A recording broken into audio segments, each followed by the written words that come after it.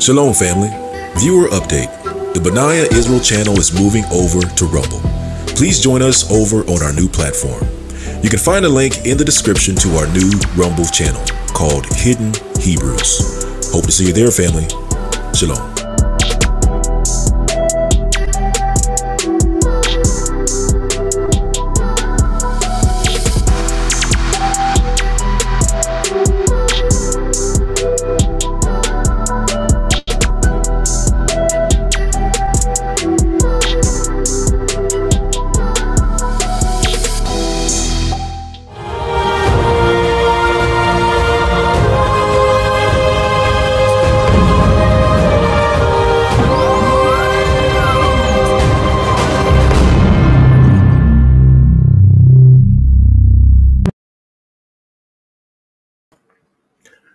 Shalom, shalom, Israel. Peace and blessings, peace and blessings. Hopefully everyone's doing doing told or good. Uh, hey, family, if you could help me just do a, a quick uh, audio check. If my audio sounds okay, if you could please put a one in the chat. If the audio sounds fine, uh, please put a one in the chat. Just want to make sure that I'm broadcasting on. Um, we are live on YouTube and on Rumble. Thank you, thank you, thank you, fam. I see a bunch of ones in the chat. Todah, told I, todah. Thank you for that, family. All right, so I'm just going to take a uh, just give me one minute, family. I'm just going to take a quick peek over on these other platforms just to make sure we're live. So just give me one minute. So I'm just going to pop over to to let me check Rumble because sometimes, family, when you when you're setting these things up, uh, the live can get cut on it. So let's see. I'm over on Rumble. And let's see. Hidden Hebrews. There we go. All right. So live on Rumble.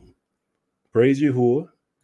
And then let me uh, go over to the Benayah channel on YouTube. Just want to make sure we're good here as well. There we go. YouTube. All right, yeah, because I think the last time I did a live, uh, YouTube ended up cutting the the live on it. So yeah, family, if you haven't uh, moved over to Rumble or subscribed over on Rumble, I would really, really encourage you to do so. Um, you know, one of the things we, you know, I really haven't gone into detail about, and that is the reason why we're moving off of YouTube. So just to give you a, quick, uh, a quick uh, summary, right before we get started. So the reason why we're moving over to YouTube most people don't know that YouTube and the ADL are connected at the hip. And what I mean by that is back is that is that all the way back to 2008, YouTube and the ADL came together and they did two things, family. And this these are two things that impacts the way that your traffic and your views and your likes and your your um how can I put it your references not references your referrals what they yeah what uh referrals gets handled in YouTube. And so what they did all the way and this like I said this goes all the way back to 2008 is that they came together and they started they started crafting YouTube's policy. So the ADL started helping YouTube craft its policy on hate on and what's what's significant about that is that the policy on hate was was the ADL's uh, definition of the policy of hate. Right, you have to kind of keep that in mind when I'm, you know as we're we're talking about this. But the ADL helped YouTube craft its policy on hate. That's the first issue, right? right. Why are they using this organization that has been historically hostile to African Israelites to come up with policies on YouTube, right? That's one. The second, the second uh, issue or the second problem that they that they've come together and done is that once that policy was in place, uh, the ADL was then moved into this uh, this position. I believe they call it like a. I don't have the information in front of me, but it's like a, a referral, a referred partner or something like that. Uh, basically, they gave YouTube a seat at the table uh, as far as being able to report what the ADL felt was hate. So the ADL has a direct line or connection into YouTube for them to, to point out videos and channels that they believe are hate, are hate uh, channels based off of the ADL's definition of hate. So that's two. And then the third thing that happens, and this is the, the one that that I, I believe bears or requires legal action. And that is what happens is that YouTube then does one or two things. They'll either re, you know remove the channel, you know, they'll put a um a a, um, a strike on it, right? And or they'll remove the channel, or they will they will do what's referred to as de-amplifying the channel. So when I say de-amplifying the channel, uh, it's it has to do with, with like their recommendation algorithm. Basically, they they stop uh, advertising your your content, your videos to other people. Like you could let's say, for instance, you if you post a video, you know, normally if if YouTube doesn't suppress your channel, normally your video will go out to you know a, a plethora of folks on the in the YouTube community. But whenever they they enable this suppression on your channel, then according to YouTube, it can on average reduce the traffic, the views to your channel roughly 80%, right? So and that's that's big at least for the people that are monetized. Like so if your channel's monetized and you're running commercials commercials on your channel, YouTube with the with the backing of the ADL or the direction of the ADL, because remember the ADLs they're the ones that's reporting this, you know, who they feel is hate, what channels they feel is hate to YouTube, and then they're and then they're encouraging YouTube to act upon this information that they just gave to them, right? This is and this can uh, in turn cause an 80 roughly an 80% reduction on people's channels. So and and the thing is, like I said, family, is that when this 80% occurs, YouTube does not let you know that they are suppressing your channel 80%. And as a user on this platform, you know, I believe that you are entitled to know if someone is reducing or if they if the if the owner company organization is reducing revenues, views to your channel 80%. You know, you're at least owed that, right? You're at least they at least should give you some sort of notification, but we know that that that does not happen. So I like I said, I believe that that that bears or requires some sort of legal legal action. But that's that's part of the reason why we're moving off of YouTube because when we move over to Rumble, we see a totally different pattern. Like when we go over to Rumble, and, and let's say for instance, if I have a thousand subscribers over in Rumble, well, that usually equates to over a thousand views on a on a video. In other words, Rumble doesn't suppress the way that YouTube does. So, long story short, family, that's why we're trying to get over to Rumble. Also, because the ADL has had uh, has helped YouTube craft its hate policy. Uh, that's why you know a lot of platforms are in jeopardy of being getting strikes on YouTube because the ADL is so intertwined into their policy and into their enforcement. So just a heads up on that, family. All right. Well, uh, sorry to go down go down that rabbit hole, but just wanted to share that information with your family, just to let you know why we're moving over to Rumble and some of these other platforms. Because I think the more platforms we're on, probably you know the better. But all right, well, peace and blessings, peace and blessings. Shalom, shalom, shalom. Glad everyone could join. Hopefully, everybody had a great and awesome Shabbat see a bunch of folks in the chat. Shalom, shalom, shalom. Hopefully, everyone's doing well. All right. So, the purpose of this uh, of this lesson, and this is a, a lesson I haven't really seen anybody do this lesson before. Uh, maybe touch on on bits and, and pieces of it. And actually, as I, I do that, let me bring up my uh, PowerPoint slide here. I always got to throw this this disclaimer disclaimer out there, right? So you know we're gonna to be talking about some some issues family so definitely if, if you're sensitive to uh issues of civil rights or racism then you know this this live or presentation is not for you all right but and also just a, a quick shout out as far as like the african israelite justice foundation uh here's the updated information we do have a, a number to go along with the the contact info and I forgot to put the um, the QR code on there. So most high will in, in some uh, broadcast to come broadcast in the future, I'll put a QR code so that if you have a if you have like a phone, you can just scan that QR code and you'll get the you'll get all this information. You won't have to write it down or anything like that. All right. All right. So just a shout out to the African Israelite Justice Foundation. Uh, we are moving, family. Like I said, we are moving in the background. Lawyers are contacting companies. I can tell you that much for sure. Uh, our lawyers are contacting big organizations, right? And they're they're going back and forth with their lawyers. And already there's some movement. I can tell you that much. Already there's some movement. I, I don't want to get ahead of what's going on, but I, like I said, I can tell you that we are moving. Conversations are happening. Websites are changing, right? Uh, and eventually some litigations will follow. So most high willing, uh, we will have some additional information on that. However, like I said, it's still in the you know in the process. It's just not ready to be announced or, or released just yet. But eventually, we will have a uh, just to give you a heads up. We will have a um, like a fun fun uh, a fundraiser drive and the purpose of that is to be able to uh, fund a bigger pool of lawyers in order to go after some of these bigger organizations.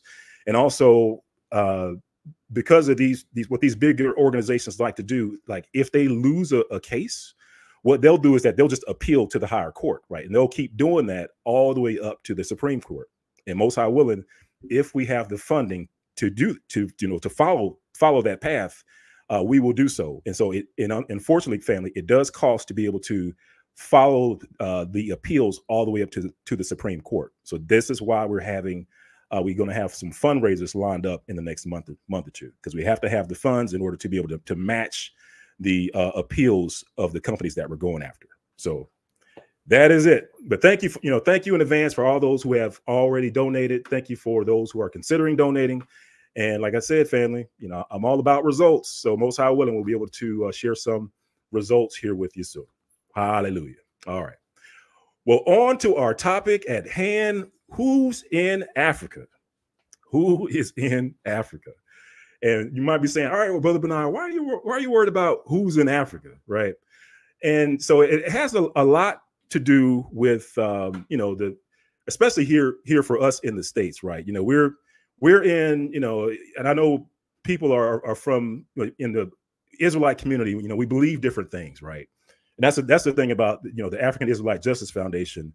You know, we work with all groups of all you know different faiths different different beliefs right? Because we know that israel is in different places in their walk in their understanding.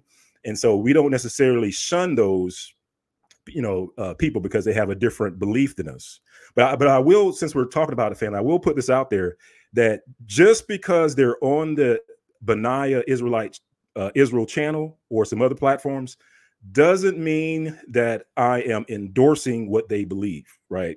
It doesn't mean that I'm co-signing off that. You know, you've heard people say, chew the meat, spit off, spit out the bone, right? So just want to make sure we're we're on the same page as, as, as that's concerned, because you know, here on the Benayah Israel Israel channel, just so that everyone knows, and like I said, I know that uh, people that are dialed in may have different uh, beliefs, but just so that you know that where I'm coming from and where my you know our bias you know lies. So our bias is is that when it comes to you know the whole you know going back to to africa i believe that eventually at some point we will leave america right? And and i know like that like i said there's different thoughts as far as like whether america is the is the daughter of babylon. Some some people believe that it's the catholic church right but well, you know, I believe that America is part of the bar, the daughter of Babylon system, and that at some point she will she will be judged, and we will be forced to leave. Whether you believe, whether you want to stay or go, you are going to be forced to leave at some point, right? So that's what you know. That's what I believe. That's what we teach on on the channel. And to that end, um, eventually, I do believe that we will end up back somewhere on the continent in Africa. Uh, that's one.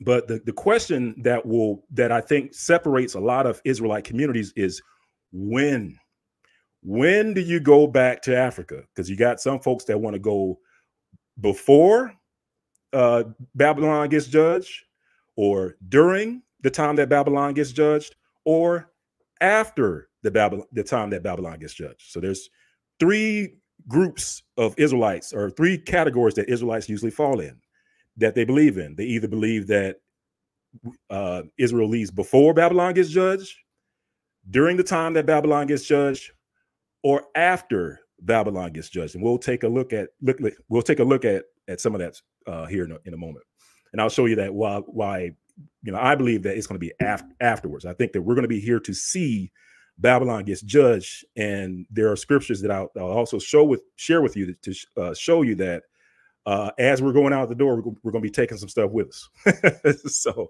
but again, like I said, that's just my belief, and I don't bang people over the head because they believe differently, right? We're all in different different places on that. So, not a you know not a game uh, deal breaker uh, for me, right? So that's one thing, and then the other other thing that you know that I push that I, that on this on the Benayah Israelite channel, and you've seen me heard me teach teach on this before, and that is you know where the where Israel is, right? And of course, you you know that there, for the most part, there's two thoughts on that. You know, uh, some people believe it's in you know South Africa, Central Africa. You know, take your pick. Uh, I believe it's, it's in Northeast Africa, which is over in the the um, you know north of of of Egypt, and the reason being is is literally because of the scriptures that start off with the words "Thus says Yahuwah." I mean, it literally starts off. I'm not just saying that "Thus says Yahuwah," but it literally starts off with "Thus says Yahuwah." And for me, those scriptures are some of the most important scriptures in Torah the ones that start off with "Thus says Yahuwah," and the "Thus says Yahuwah" scriptures or verse uh, also describes the boundaries of Israel. And when it talks about the boundaries of Israel, it also tells you where the boundaries of Israel are. Like if it's on the north side, when it talks about the Euphrates, it talks about the Euphrates being on the east side, on the north side. It talks about uh, Egypt being on the south side. And it also talks about certain seas and stuff being boundaries as, as well. It also talks about Damascus being on the north side. And according to those thus says Yahuwah scriptures, that's why I believe that Israel is on the to the north of Africa, right? But again, that's just me. again, I don't beat people up over the head because they believe differently than I do. And in fact, we might have some folks on the channel that will have a different belief, and that's fine. And again, but I'm not endorsing it, but just know that we have a we have a different belief when it comes to that. So all that being said, family, that kind of plays a part in you know our belief in going back over to Africa. Like we said, you know, some people want to go before the the uh, judgment of the daughter of Babylon. Some people want to go during. Some people want to go after. And regardless of, of when you go, um, you know, regardless of when you go, I believe that there are some there, there's there's some information you probably want to know before you get on the boat or the plane to come over to Africa, just as a FYI. and that's the that's the point of this video because I think there's a there's this uh, misconception that you know, especially over here in the states, you know, a lot of our persecution has come from a people that look a certain way that aren't black, right? Now, let me say that again over here in the States, a lot of the persecution comes from people that do not look like us, right? I mean, there are, don't get me wrong, there are some black and black crimes in the States, but you don't see us marching in the streets because of some black on black crime that just occurred. Usually you see black folks marching in the streets, especially here in over the United States, because there was a police officer, like a white police officer, gunned down a person that had a little kid that had Skittles in a in a uh, in sweet tea, right?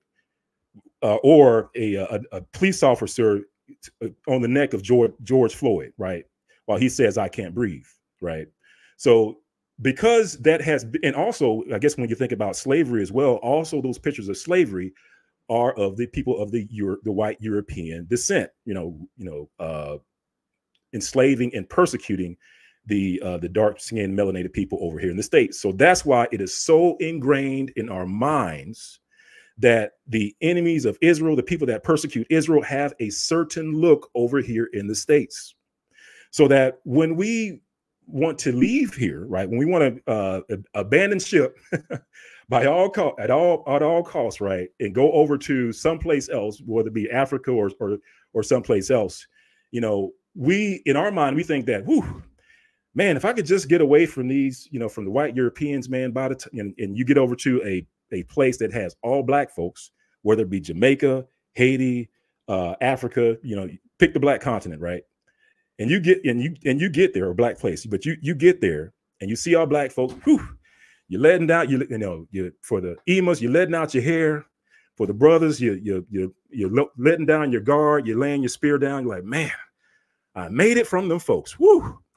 I'm in safe, safe haven. All right. But what I want to warn you, families, is that before you do that, let me show you who's there in Africa, right? Before you know, we, before we go into Africa, because like I said, I believe that at some point we are all going to be heading back over to the continent, right? But the purpose of this lesson is to show you who's in Africa, and it's not a comp- it's not a comprehensive lesson, but it's just a just to kind of give you a summary of, of some of the groups that are in Africa and and the ones that you have to watch out for according to the Bible, right? Because some of these groups are biblical groups that have a biblical issue with Israel, right? And then the other thing is, family, if you think you're going to run away from these curses, you know, I mean, you know, family, that ain't happening, right? That is not happening. If the purpose of you trying to run away from from the daughter of Babylon or America now is that you're trying to get away from the curses of Deuteronomy 28, 15 on down, you know, family, that is not going to happen. And what I'm going to share with you, family, let me see if I can expand my screen here. Hang on one second. What I'm going to uh, share with you, family, is this has happened before, right? And you know if you're if you have seen any of the, the videos on this platform on this channel you have seen that you know a lot of the the uh, lessons we focus on the the jews or the yehudi or the israelites of spain and portugal right and the reason why we do that is because in spain and portugal just before the transatlantic slave trade a a an event of biblical proportions happened in spain and portugal and, it, and it involved hundreds of thousands of black folks and a displacement of black folks, a persecution of black folks. And these black folks were called Negroes before the word Negro meant African. Let me say that again. The, the persecution of these hundreds of thousands of black folks that were called Negroes in Spain and Portugal happened at a time before the word Negro meant African, right?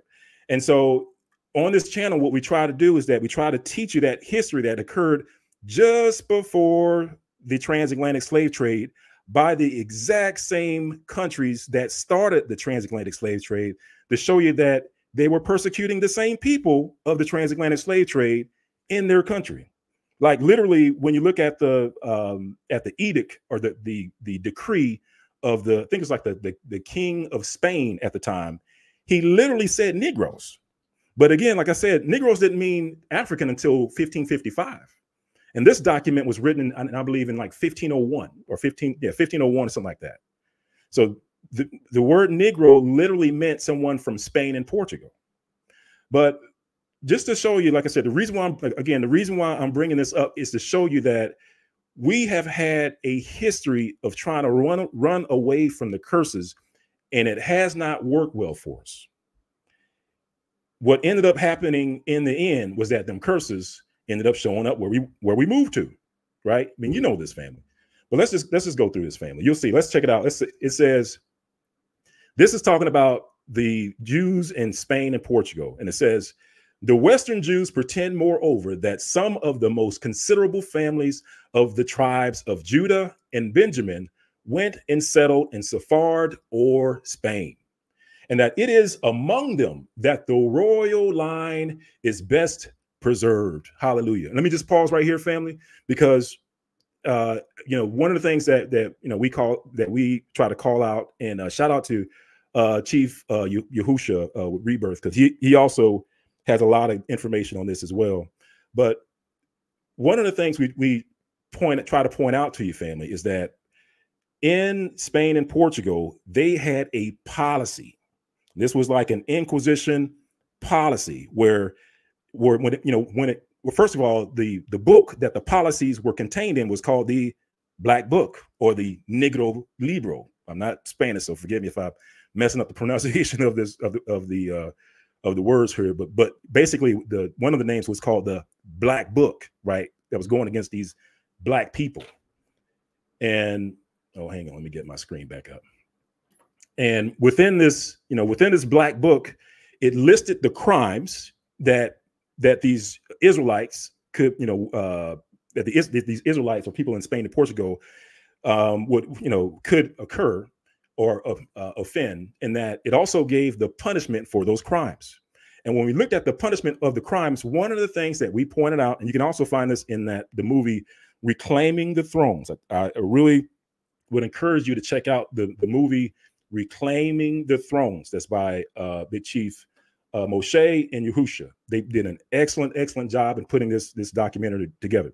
But in Reclaiming the Thrones, one of the things that's pointed out in that movie is that the punishment in this this black book the book of the inquisition against these black people in spain and portugal the punishment that was reserved for the nobles. Hallelujah. Listen to me family. The punishments that was reserved for the nobles was expulsion. Was expulsion. So basically family they were taking the nobles out of spain and portugal and expelling them where were they expelling them to? The west coast of Africa, just before and during the transatlantic slave trade. That's why when you look at the, the transatlantic slave trade and these people get shipped over to the Americas, they eventually get end up over in North America uh, due to certain pressures that occurred in South America. But a lot of these folks get uh, over, you know, pushed over into uh, North America. This is why when the the people over in the United States hit their 400 year mark. This is why all hell broke loose. And I've heard I've had people uh, mention to me. They said, "Hey, brother Benayah, you know uh, the is you know the Israelites, or sorry, or the the Negroes were over in South America longer." I was like, "Yep, they were." You know, they were there longer than 400 years. I was like, "Yes, they were." It's like, "Oh, brother, brother Benayah, the Israelites were over in, um, uh, you know, some of these other uh, Central Central American companies way before they got to they got to uh, North America. It's like, yep, you, are right about that, brother Benayah. The Israelites. I mean, we, we see some some some black folks, some Israelites in North America before 1619. I'm like, yep, I agree with you. I agree with you there. But the the key here is family, and this is what I tell people. It's like the key is who is here and when they got here which is which which is key and and which is why when we hit our 400 year anniversary here in the states that all hell broke loose.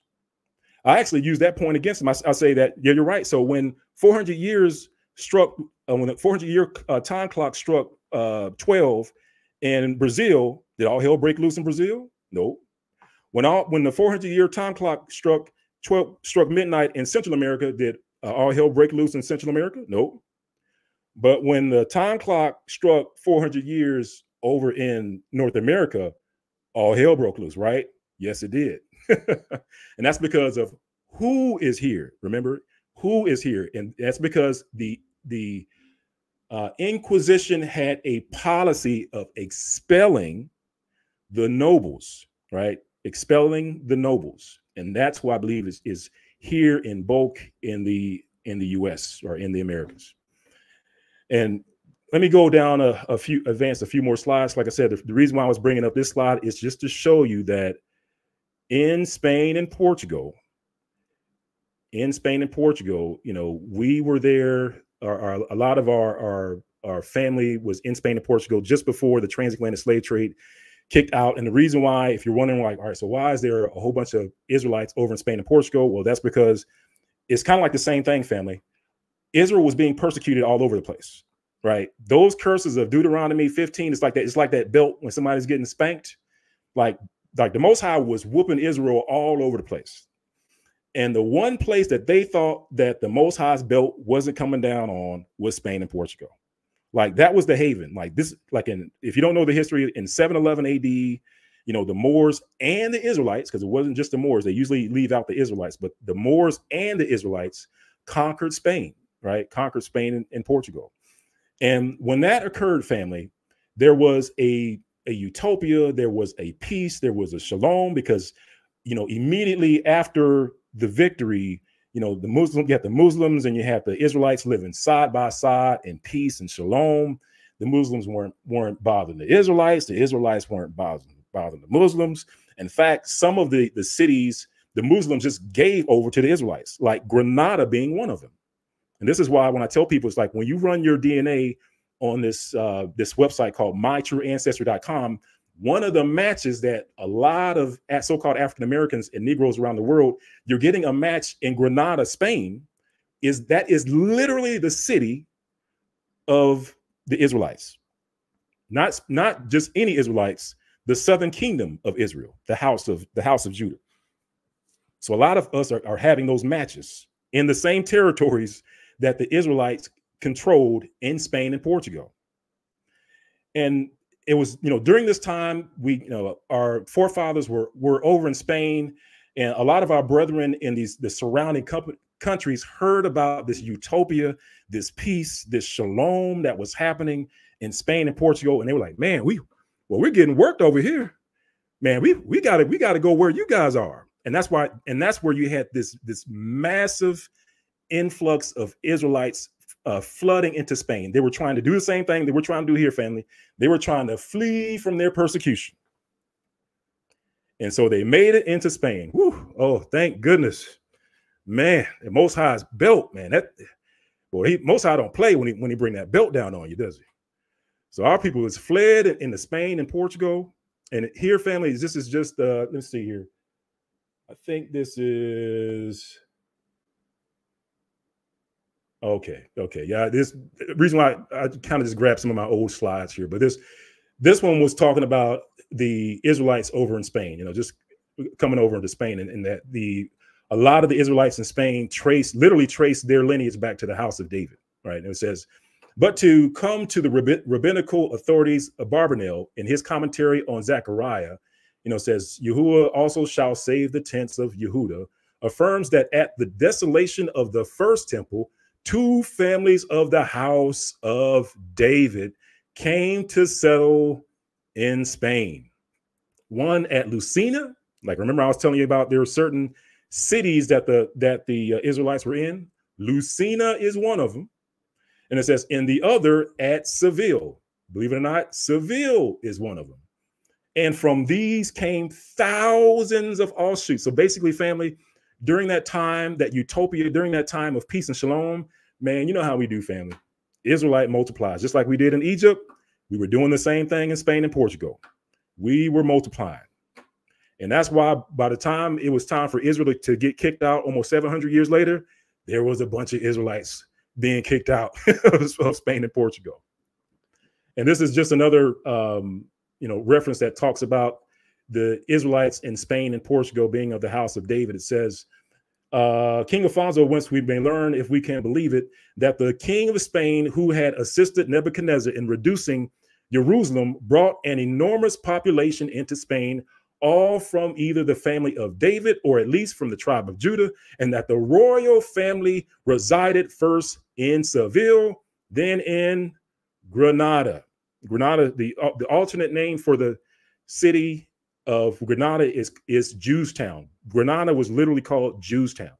And it says, adding that the exiles afterwards had their numbers greatly increased by fugitives from the desolation of the Second Temple. So basically, family, is what it's saying is that the population in Spain swelled over time. That's what I was telling you, fam. Like everybody that was an Israelite, you know, in general, wanted to get over into Spain and Portugal because they were getting their tails kicked in these these other places, right? They're the, the most high's belt and punishments was coming down on Israel in these other places.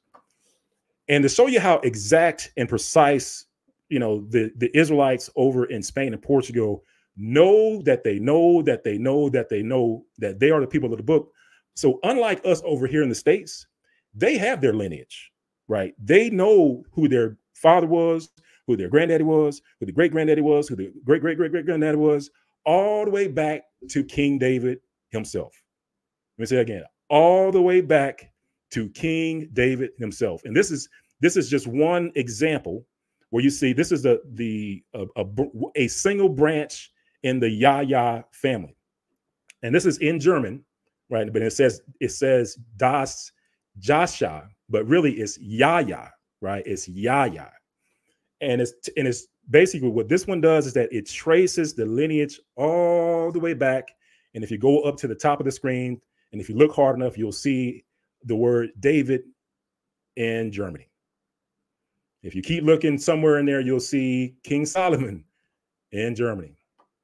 And if you keep looking, you'll notice that these same people also went, also were the same of the same lineage of the people that were placed that went into captivity in into Babylon. Right. So these same people that were over in Spain and Portugal, they were of the same lineage or descent of the people that were uh, captured uh, by Nebuchadnezzar. Same people, right? Which is like I said, which is interesting, not to go down a rabbit hole, but family, it's, it's just so much information because you even even have the limba, right? The limba will tell you that yes, we also were in Babylon, uh, taken into Babylon by Nebuchadnezzar, right? And of course, the limba didn't come didn't come into back over into the continent until late. Like people don't realize that the limbas were the were, was one of the last tribes to come into Africa. People don't realize that, but it's it's part of their oral oral tradition, right? And for a lot of people that you know, a lot of uh, so-called African Americans, so-called Black folks, when we run our our DNA test and we look at the genetic distance value, not you know, not just any genetic value, but the genetic distance value, that shows you how closely you were you are related to somebody. It tells you that it, it shows you if that person is your daddy or if that person is your fourth cousin right? Because we got a lot of fourth cousins and fifth cousins and sixth and seventh generation removed cousins all spread all, all over in Africa. But you only got one daddy, right? And for a lot of folks that when you run your genetic distance value, you show that genetic distance value that your closest match are the are the Limba, who also were taken into Babylon, right? Who also were taken into Babylon. And so how does that tie into what we're talking about now? Well, if you look on the screen, remember I just told you that these the Jews or the Israelites of Spain and Portugal, they know that they know that they know their lineage. Like they're not like us, family. They didn't forget. Like they knew who they were. And this is, and I, like I say, family, it's so much information that you come across when you're studying this stuff that, like, I even came across things because you hear people talk about, you know, giving Hamashiach, the Mashiach, a hard time and, and saying things like, oh, they, they, the, the Europeans got they made up uh, Hamashiach, they made up uh, Jesus right? When they did make up Jesus now, but they didn't make up Yahusha. Now that's that's something that's something different. that's something different. Uh, but saying all that, saying all that to say, family, you know, and most I willing, you know, I'll, I'll bring we'll, we'll we'll do like a lesson on this and and just show you that some of these old references talk about how these Israelites who did not forget who they were, who knew their lineage all the way back to King David, they had a sit down and a talk about Yahushua mm-hmm. about who he was, who he is, what they what he meant, what he means or meant to the body of Israel, and what they should do about it. That is in in uh, a couple of uh, references, and in order to uh, attend this big conference that they had where they were discussing this, uh, the only way that people could have a discussion or even to have a vote is that they had to have their lineage and uh, and be able to prove it. You know, before this this um, how can I put it? This council of Israel. Like they had to go before the council and be like, look, this my daddy, this my granddaddy, this my blah, blah, blah, all the way back to King David. Or some of them may, may not have gone back to King David, but at the very least, they had to show that they were Israelites. And uh, they were talking about Yahusha, and they weren't talking about him being fake, right? They weren't talking about him about the the Europeans um, making making him up. Like that wasn't even a conversation. The only conversation that they were trying to figure out is who was he? Like they like they knew that he had powers, but they were trying to they were trying to um equate it to magic. Like, oh, maybe the stuff that he was doing was magic, you know, stuff like that. But anyway, like I said, I don't want to get off into a tangent, but just let you know, like when you're studying this stuff, and you come across information, and because I, I, I try to stay focused on the topic at hand, you know, I just I usually just take it and just save it. so most high willing, we'll probably, you know, maybe we can do a, a study on Yahusha, and so that you can see that the people of Spain and Portugal, the, the, the Israelites who did not forget who they were, they weren't dogging out Yahusha. Like that wasn't a thing, right? The other people that were there in the meeting were the Pharisees. Now, the Pharisees, just like they were doing in the Bible, just like they were trying to, they were dogging out Yahusha in the Bible, they were they were dogging out Yahusha in this meeting. So anyway, like I said, it, will be a, a, good study. But let's let me bring it back. All right. So on the screen, family, you're looking at the Yayas. The Yayas eventually changed their names to Negro. And this is, like I said, this is before the word Negro meant someone that was born in Africa. Before the word Negro meant someone that was born in Africa, the word Negro referred to the Yayas. And the Yayas were the people that were placed in charge of all the Israelites in Spain and Portugal, or at least we thought that. And I'll I'll I'll explain that here in a moment. And so the Yayas eventually, you know, did what Israel does, multiplied, and you end up having a bunch of Negroes running around Spain and Portugal that were the head noble people in Spain and Portugal. And then, of course, transatlantic slave trade gets kicked out, or gets kicked off. All this persecution, the persecution even comes against the Yayas. We know that the Yayas fled into Africa because one of the things that we looked at was you can actually go and purchase a Sephardic uh, Israelite uh, dictionary. Basically, what that book is is that it shows you surnames. It shows you the last names of Israelites. And actually, the the whole this whole notion of last names, like people, because you know in the Bible, Israelites didn't have last names. It, it, it wasn't like it wasn't like Elijah Jenkins. It wasn't like um, uh, David David uh, Jenkins, right? It was just David. It was Shaul, right? It was Isaiah. But the, this whole uh, notion and practice of surnames was birthed out of Spain and Portugal. Even the Ashkenaz did not have surnames. It was the the uh, um, the Spanish and Portuguese Jews that have surnames, and then eventually all these other Jews started having surnames. But don't get it twisted, family. It started off in Spain and Portugal. But anyway, let me like I said, let me bring it back. Keep going off on a tangent. So in Spain and Portugal, these Yayas eventually became known as Negroes before the word Negro meant someone from Spain and Portugal. And you can, like I said, you can also look at this, this, uh, look at this, you know, this is, this is one of those uh, genealogy uh, tables or maps or listings of the Yaya family all the way back to King David. And you, and the Yaya lineage was also in captivity in Babylon. That's what this this uh, German genealogy table of the Yayas shows you. All right. And even in Spain and Portugal, they even had a land called the Negroes. Before the word Negro meant an African, there was a land, a territory over in Spain and Portugal called the land of the Negroes. Before slavery kicked off, they had a land called the Negroes, the land of the Negroes. And in this one, let's see. Uh, I guess I, I just kind of put this one in here just to show you that. Uh, and this is like a, this like like I said, this talk this speaks to the curses because this is speaks to when people think that you're going to run away from the curses. Like eventually in Spain and Portugal, that utopia uh, got cold, right? Eventually the curses showed up. It's like, oh, I didn't realize y'all was up here in Spain and Portugal. How come y'all, didn't invite me? You know, the, the, cur the curses said as it came through the front door. And then the curses did what the curses gonna do, right? The curses started uh, causing, um, um, you know, started causing plagues to, to, to pop off in Spain and Portugal. And guess what? When the plagues, when the plagues kicked off among these Negroes, guess what they called the, the name of the plagues? Black Plague, right? They called it the Black Plague. And this is funny because, uh, you know, you have all these, you have all these uh, descriptions of things when, when it talks about the Israelites of Spain and Portugal, it always somehow, some way comes back to the word black. You know, Black Plague, you know, or the book that they were persecuting was, you know, the Black Book. A town that they lived in was called the Black Town. Come on, family.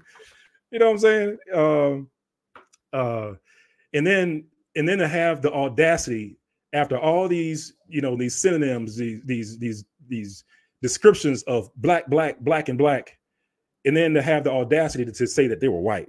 Fam, you have to realize how how big of a uh, you have to stress the truth so so much to try to even try to even get there. But anyway, but let's leave that one alone for now, family. But like I said, family, the curses in Spain and Portugal eventually showed up, knocked on the door. You know, it caused some plagues to kick off. It caused the persecution to kick off. Now, guess what Israel's going to do? We're going to run away again.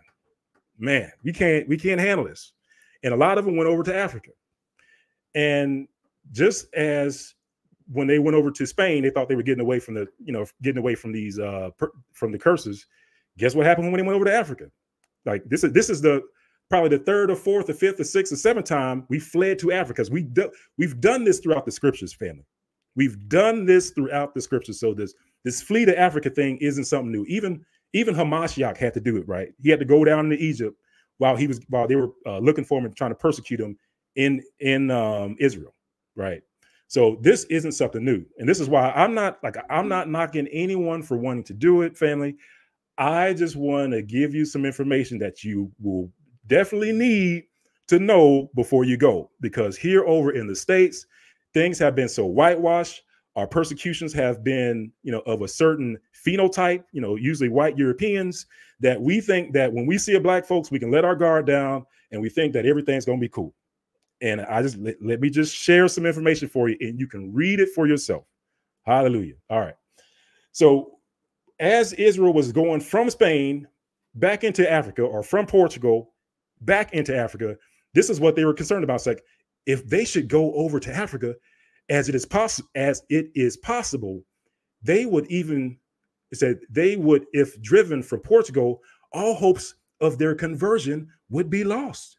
So basically, the folks in Spain and Portugal, they were worried. It's like, man, if if these Israelites leave, you know, we can't convert them over to this our Roman uh, Roman Catholicism. We can't convert them to our brand of Christianity. Man, we we got to do something. And to the point, family, that when people don't know is it's, it's like when Emmanuel, King Emmanuel, set up, sent his people into Africa to you know start getting getting quote unquote these slaves. The first slaves were called rescues. They were called rescues. I'm doing air quotes. You can't see me. and it and uh and it has to do family with and the reason why they're calling them rescues it has to do with a promise that he promised to the israelites before you know when his father uh king john ii actually sent them into africa. Anyway that's like i said long story short. But long story short family israel goes and flees into africa. You know they're there and and again just so that you know that uh, there are books, old books, and you know, if you're new to the channel, uh, one of the things that we push, we tell people is that if you want to know the true history of who Israel is, where Israel came from, what happened to them, you got to read old books. You got to read books where the the publication date is older than uh, I'd say like 1850 in general, right? That's not a hard fast rule, but in general, find you a book where the publication date is older than 1850 and you know nine times out of ten those books will describe israelites from spain and portugal as black as brown dark skinned swarthy you know any synonyms you can think of black that's what they would be described of in those books and that is a consistent repeatable thing that you can find on your own right um, where you will find other israelites of different complexions or people that were calling themselves Israelites or Jewish is in Germany. Because in Germany, depending on how far back you go in time, on the north side of Germany, you will find white Germans. I mean, you'll find white Jews. But on the south side, you'll find black Jews. You know, usually in the, the area of uh, Bavaria, Bavaria, if I'm pronouncing that right, uh, close to like the Rhineland and stuff like that, where a bunch of persecution kicked off. But that's a story for another day. So it, you know, the reason why I'm showing you this reference family is just to show you that all that persecution that kicked off, curses showed up, right? And guess what? Israel was back in Africa. You know, before this, we were over in we were over in Spain, we were over in France, we were over in Europe, we were over in Italy, right? But then knock, knock, knock, curses showed up. right. Curses showed up, and let's see what happens. There's many Jews also were scattered over this region, and some natives boasting themselves of Abraham's seed. So basically, it's, it's, saying that in Africa, at this time, this is in this book was written in the 1600s. Uh, you can there was a a large contingency of Israelites in Africa near the Niger River. You know, they were inhabiting both sides of the Niger River, and it says others are Asian strangers who fled thither either from the desolation of Jerusalem by Vespasian or the uh, Judah wasted and depopulated by the Romans. So another thing I tell people is that there were waves of Israelites. They came over different times, right? Different events occurred that caused Israelites to get expelled from wherever they were, came over to uh, Africa, to the west coast of Africa, and the last people to show up on the west coast of Africa were those Israelites from Spain and Portugal. And not only were they placed over in Spain and Portugal, they were scattered family. And that's a that's an important uh, differentiation. The Israelites that came over to Spain and Portugal were scattered in the places that Portugal had their dominion. They were scattered in places where Portugal had their dominion. That's why when you take a 23andMe or Ancestry.com, you'll start to say things like, oh man, I, I'm like 40% Nigerian. I'm like 35% Cameroon. I'm uh, 15% Ghanaian. What you're picking up is the scattering of Israel in those places. So, of course, you'll have 30% this, 40% that, even if you take an African Ancestry.com test. And what they do is that they look at your Y chromosome and they say that, well, let me look to see where we can find your Y chromosome in, in Africa. Like, where's your your uh your your father, right, in Africa? And they'll say, look, oh, we, you came back, you came back as uh a uh just a Yoruba. Yeah, we found that found that your your daddy is in, is in Yoruba. And again, family, that's because you were scattered right? Your your your forefathers were scattered among the among the the people that were there before in Yoruba, right? Some people were scattered. Their your forefathers were scattered in Yoruba.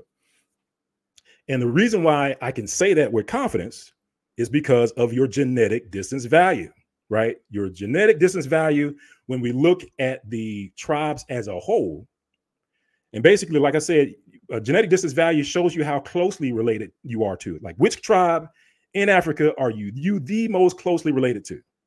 So if you were from Yoruba, when we run your genetic distance value, then you, the tribe of Yoruba should be your closest tribe.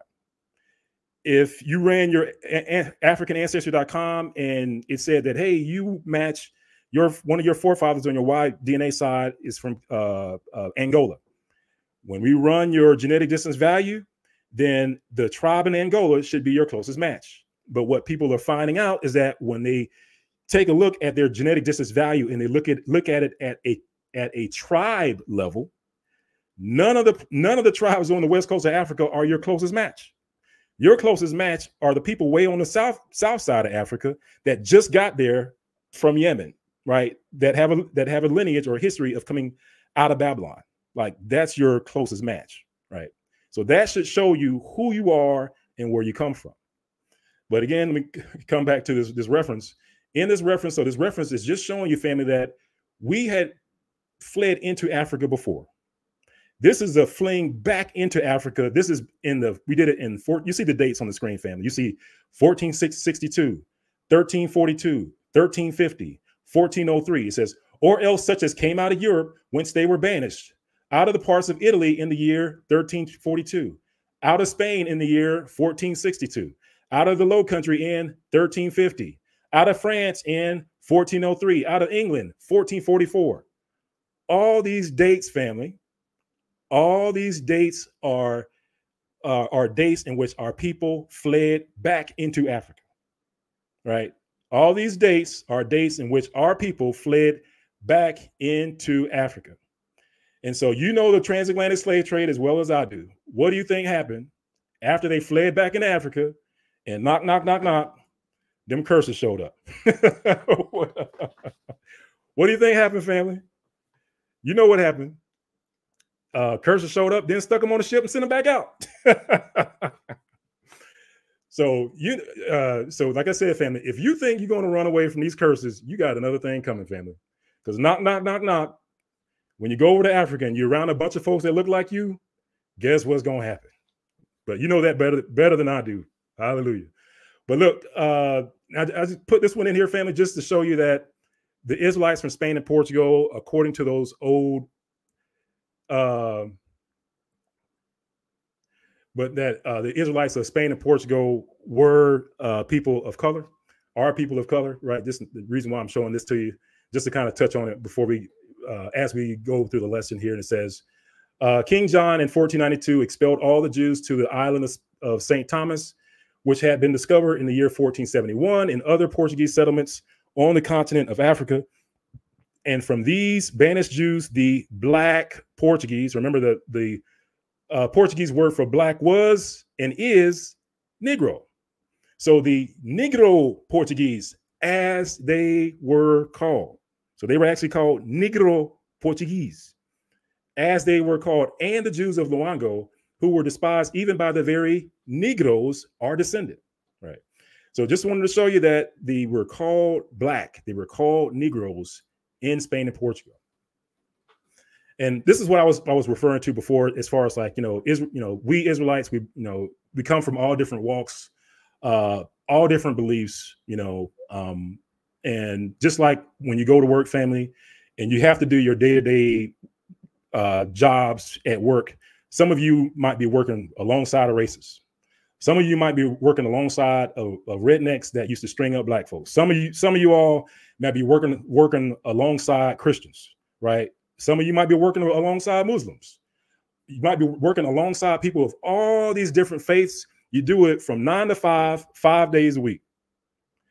You know, however many uh, months a year you do it, you do it, right? You know they got a different uh, opinion. You know they have a different view, but you set all that aside and you get the job done and you get your paycheck at the end of the day.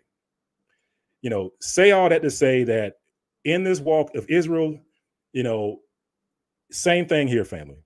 You know, we have people with different understandings, different beliefs, but you know, we have a greater enemy here, you know, especially here in the States, that we all need to work together to handle, you know, to defend against, to um, to guard against, right? And these, you know, these differences that we have, we need to set them aside, family. And I can tell you that this division is what caused, and it was part of the reason why uh, you know the you know these quote unquote Arabs were able to gather our people from the places into which that we were living in Africa at the time. I have to stress that we were living in Africa at the time.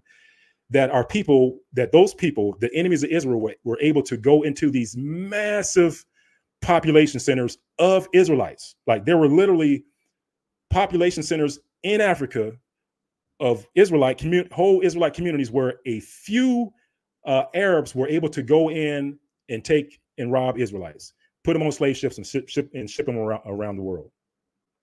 And the reason why they were able to do that, and you can actually see uh, the reason why and read about it in the same books where the actually the uh, the Arabs that were going into these communities, like they they commented, they, they say that that it's like, man, if these people ever woke up and bond, and banded together, it's like, man, we would be we would be done for.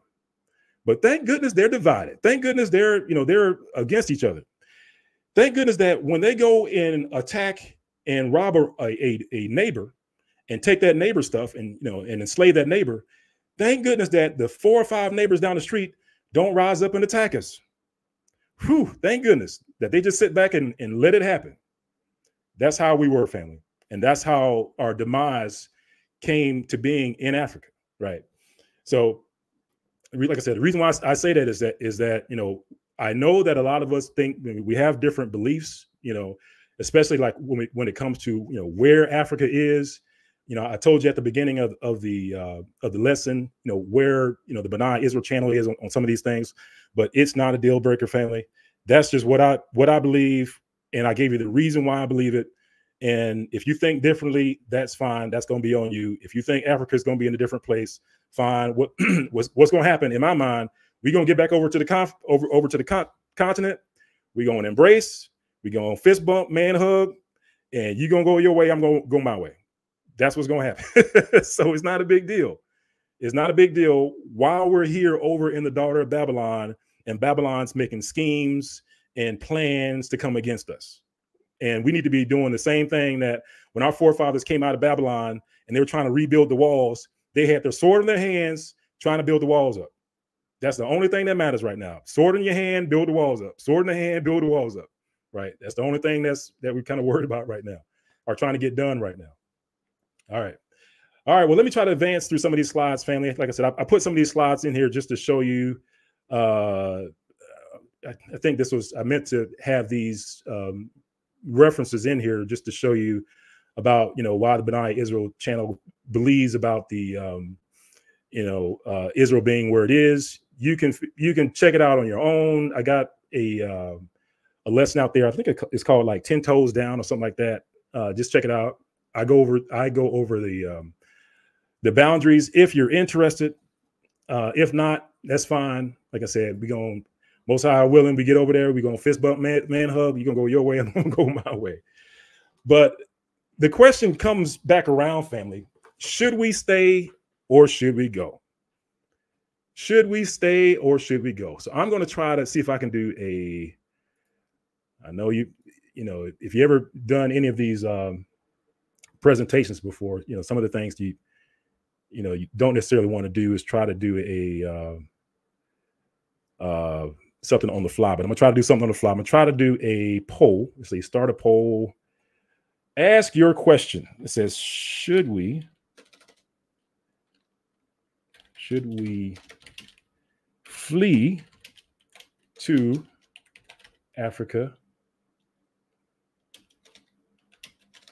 Question mark. I'll say, if so, when? Question mark. And then what I'll say is flee now. flee during per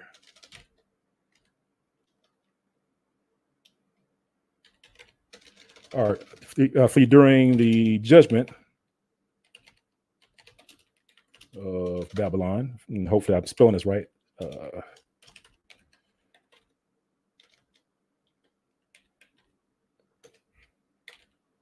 oh goodness. and Babylon, and we added flee after Babylon is judged. Okay, so let's see, must contain. There we go. All right, so create poll. Let's see. All right, so let's see. Hopefully, you're able to see the. Um, are you all able to see the poll, family? If so, um, oops, I got a typo in there.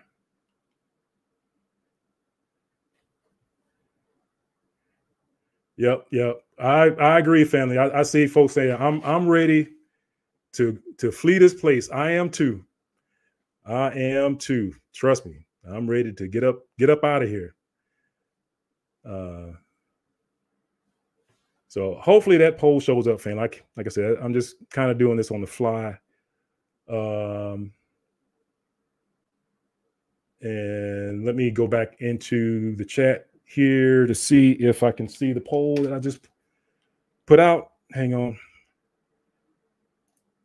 Yeah, apologize, family. Like I said, I'm just trying to do this on the fly. Try to get a a um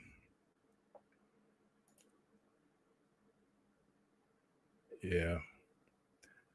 Well, I don't see the poll, so I might I might be doing something wrong. But oh, let me go back up to the top. At the top, nope. All right. Well, we'll figure it out. We'll figure it out. So poll, create poll, start poll.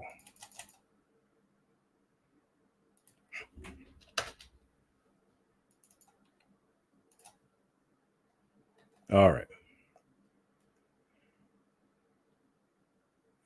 All right, so that's that. So you have to figure out, like I said, family. The, the question on the floor is family: Do we flee now?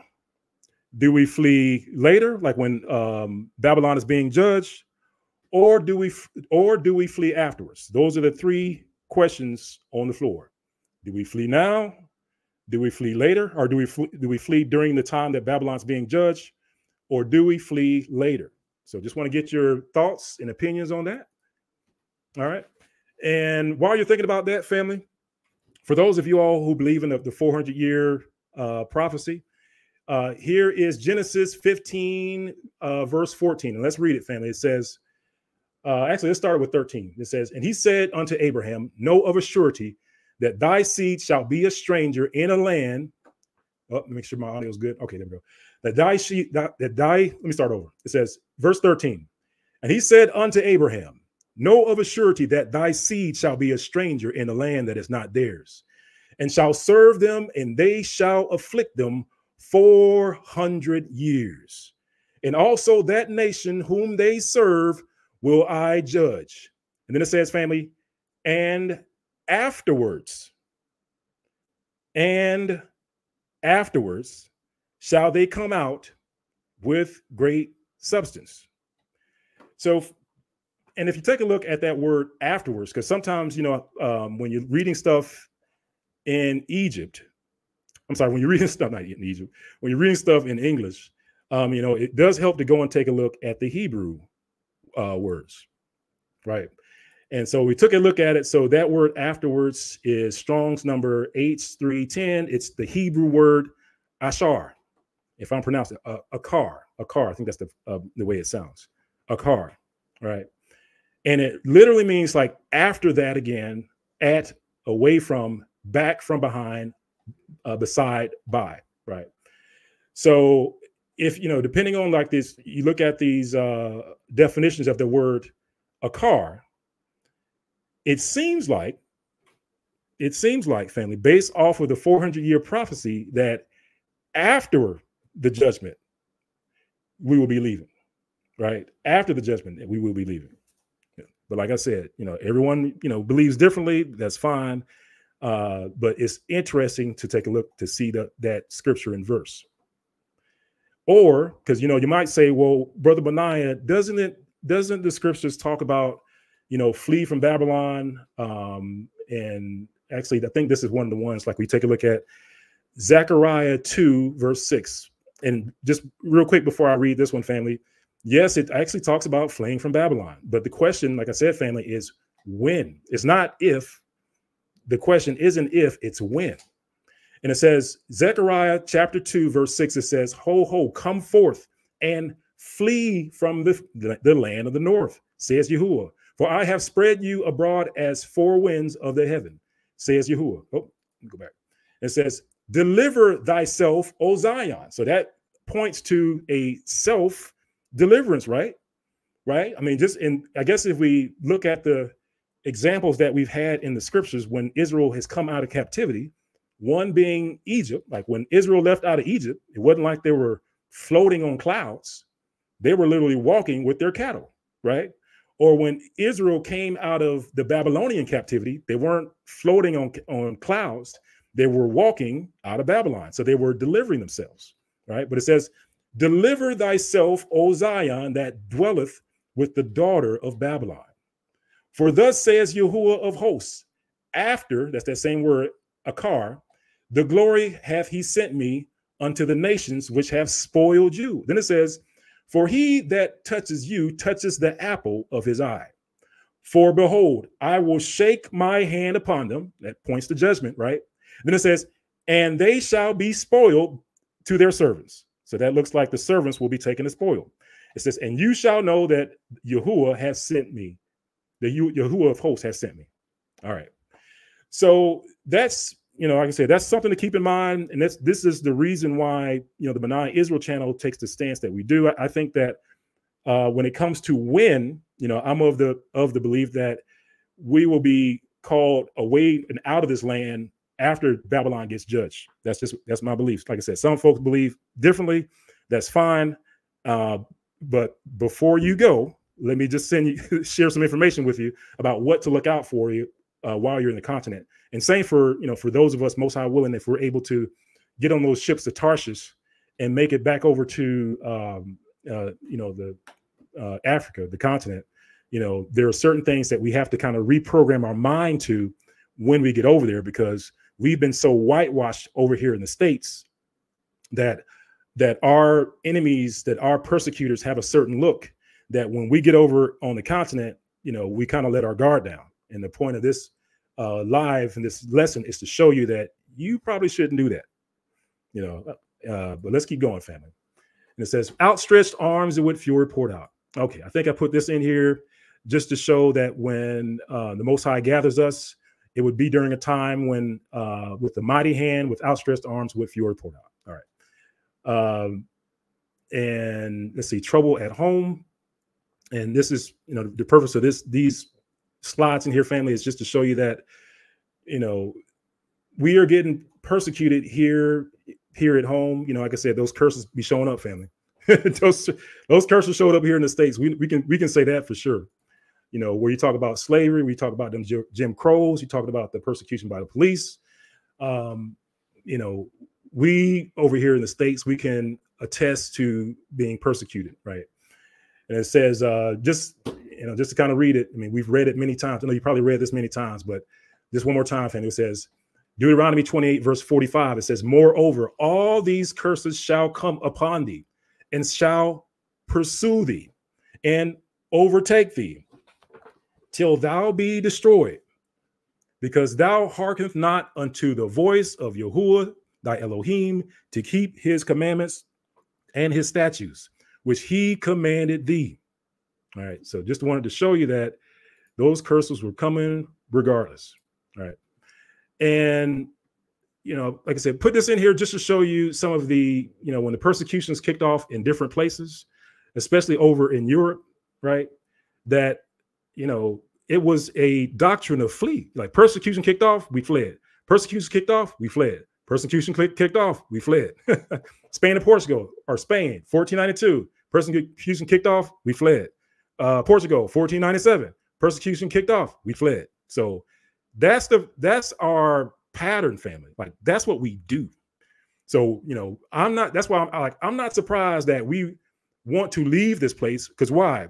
We've done it over and over and over and over again, you know, uh, because at the end of the day, family, we just want peace. We just want shalom. I understand. You understand, family. We just want shalom, right? But the only way for us to get that shalom, family, is to turn back to the most high Yah. That's the way that we're going to get back shalom.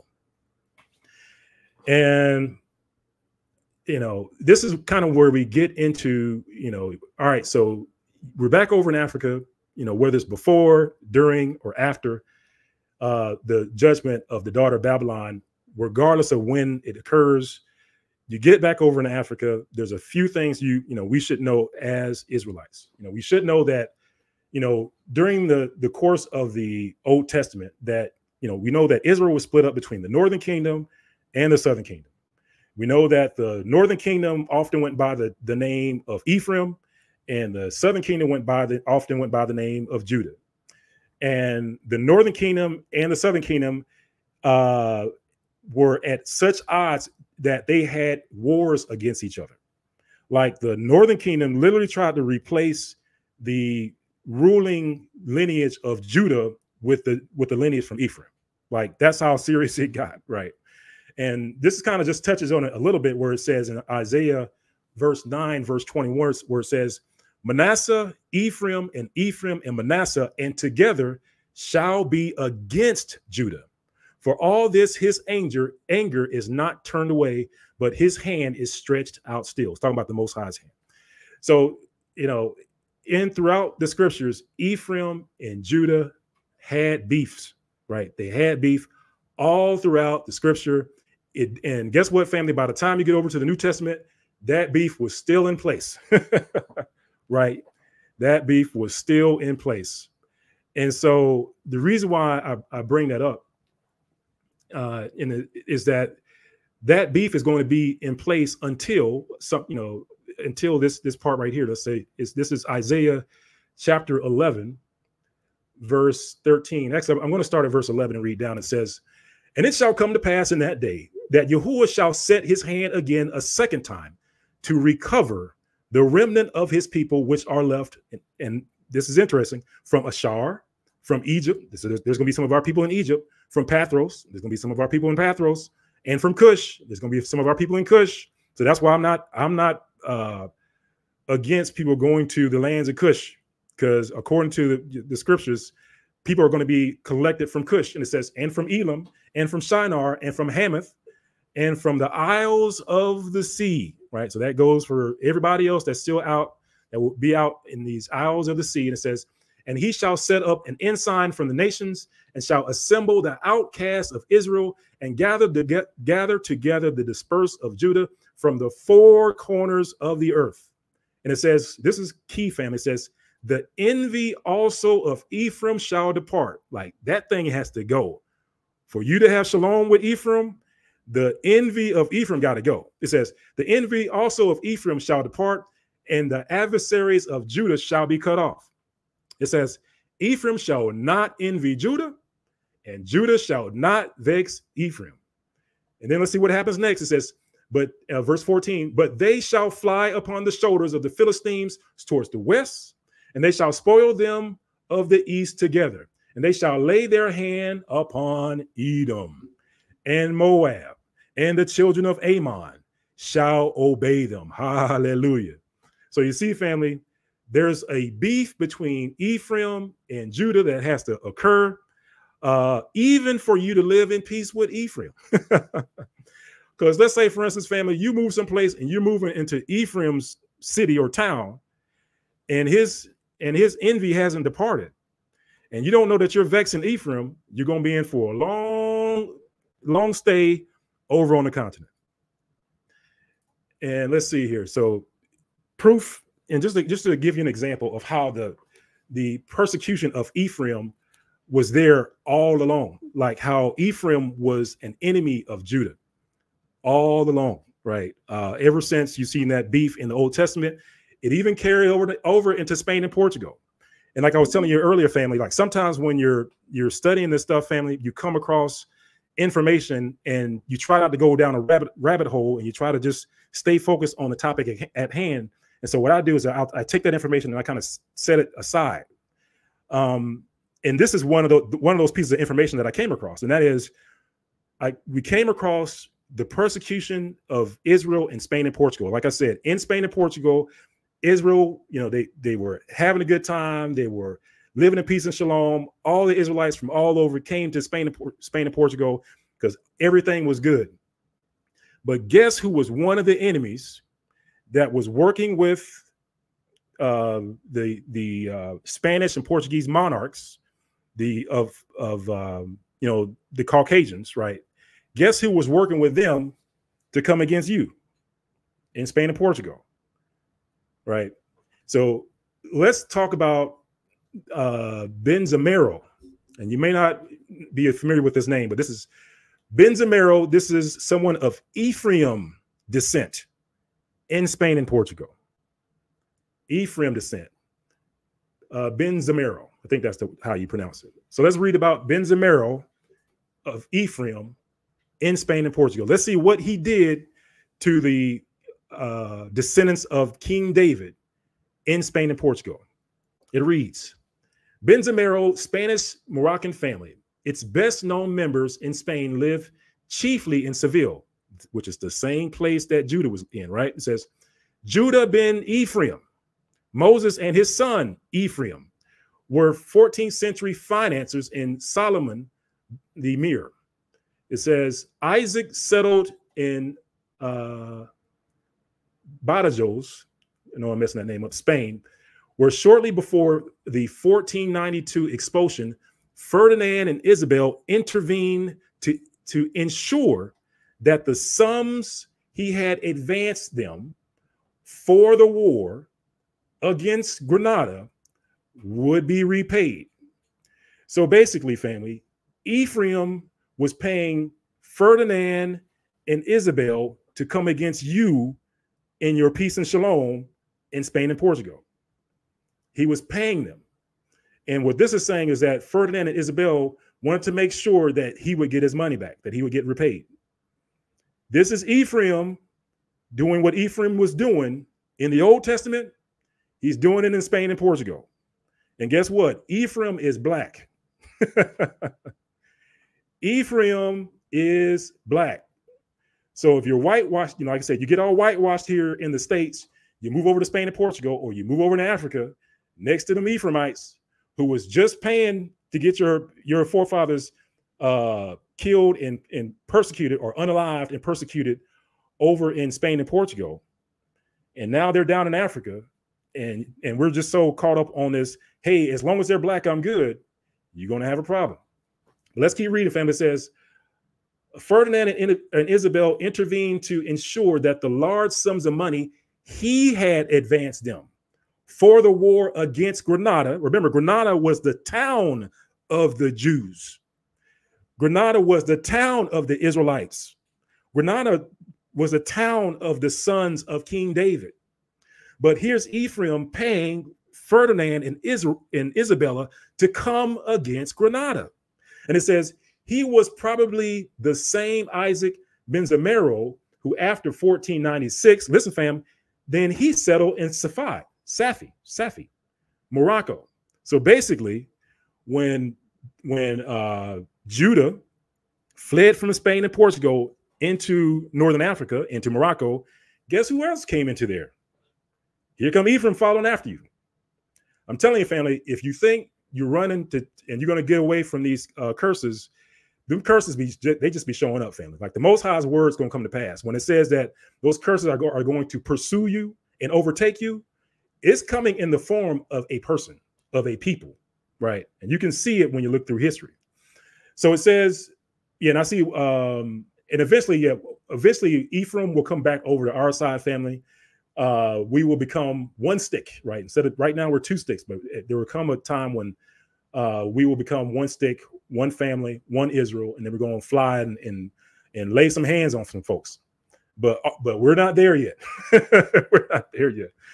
But it says, look, fam, it says, and he probably the same Isaac Benzamero, who after 1496 settled in Safi, which is Morocco, he became the treasurer of the Portuguese governors there, exercising important political influence and was entrusted with him uh, many dipl- diplomatic missions, both the king in Lisbon and to the Moroccan leaders. So I had multiple, I have multiple uh, references on this, and I actually owe you at least another reference on this. But in some of the other references, family, what it what it what it says is that the what what King Isabel, I'm sorry, King Ferdinand and Queen Isabel did was that when the Jews, Yehud, when the Yehudi, when the Israelites fled over to Spain and Portugal, they sent Ephraim over there and they put Ephraim in charge. Like Ephraim was the was ruling in Morocco on behalf of Ferdinand and Isabella. And guess what? We got persecuted over in Morocco and we fled deeper into Africa across the across the Sahara. Running away from Ephraim, right? Running away from black Ephraim. And just to show you that in Morocco, and one of the places in Morocco is called Ephraim, Ophrim. It says the, the principal capital of Central Sud region, north central Morocco, is situated in the middle Atlas Mountains. I'm going to skip down where it says the Jews of this kingdom are said to have belonged to the tribe of Ephraim. To the tribe of Ephraim. So where we got persecuted, Ephraim was there. Ephraim was put in charge. He was working with the people that had just kicked us out of Spain and Portugal. So again, Ephraim is black. so one of the, if you're taking notes, family, you might want to look out for Ephraim because you also find Ephraim on old maps. You'll see that where I, the part that I have highlighted, and I believe this is this is a map from John Ogilby's book, but you'll see that it says "Oh Benai Ephraim," or it says Benai Ephraim, which means the sons of Ephraim. So if you, it's funny because family, if you look at this map and you see the sons of Ephraim and you get excited, you're like, oh man, well, well, Ephraim is a Ephraim is an Israelite tribe. I mean, yeah, I mean, all right. We, so we were there on the on the uh, coast of Africa, and if you see that and you don't know the history, you know, you'll think you'll think wrongly about what's going on. You have to understand that at this time, this is just after Ephraim just got finished kicking out or helping pay the uh, Isabel and Ferdinand, pay them to kick out Judah from Spain and Portugal. This is just after after Judah fled into Morocco. Ephraim was over our people in Morocco, and Ephraim was persecuting them, them in Morocco. Then, you know, the transatlantic slave trade kicks out, and the place that was called the, the slave coast where our people were captured, shipped, and and and uh, put in those those slave ships and, and shipped across the ocean. you got the sons of Ephraim right there. What do you think the sons of Ephraim were doing? That's what I'm saying, family. It's like you might want to be careful. You might want to look out for the folks that go by the name of Ephraim over in Africa. So because they look like you, because you know, I can't say that they talk like you, but because they, they look like you, you might want to pay attention to the names, family. Pay attention to the names. Because the enemies of Israel, I guess you can see where I'm going, they are there too, right? Even Dahomey, like people will tell you, like Dahomey are, is the home of Dan. Well, what was Dan to Israel in the Bible? What was Dan in Israel to the Bible? The tribe of Dan in Israel to the Bible. It says here, it says Genesis chapter 49, verse, let's read, let's start over verse 16. It says, Genesis chapter 49, verse 16, it says, Dan shall judge his people as one of the tribes of Israel. Dan shall be a serpent by the way, an adder, which is a poisonous snake, if I remember. It says, in the path that biteth the horse's heels, so that his rider shall fall backwards. So you can see that Dan is a serpent. Dan equals snake. I see somebody, uh, light warrior. Dan equals snake. So you might want to look out for Dan while you're over there, right? And Dan is black, right? But guess who else is over there?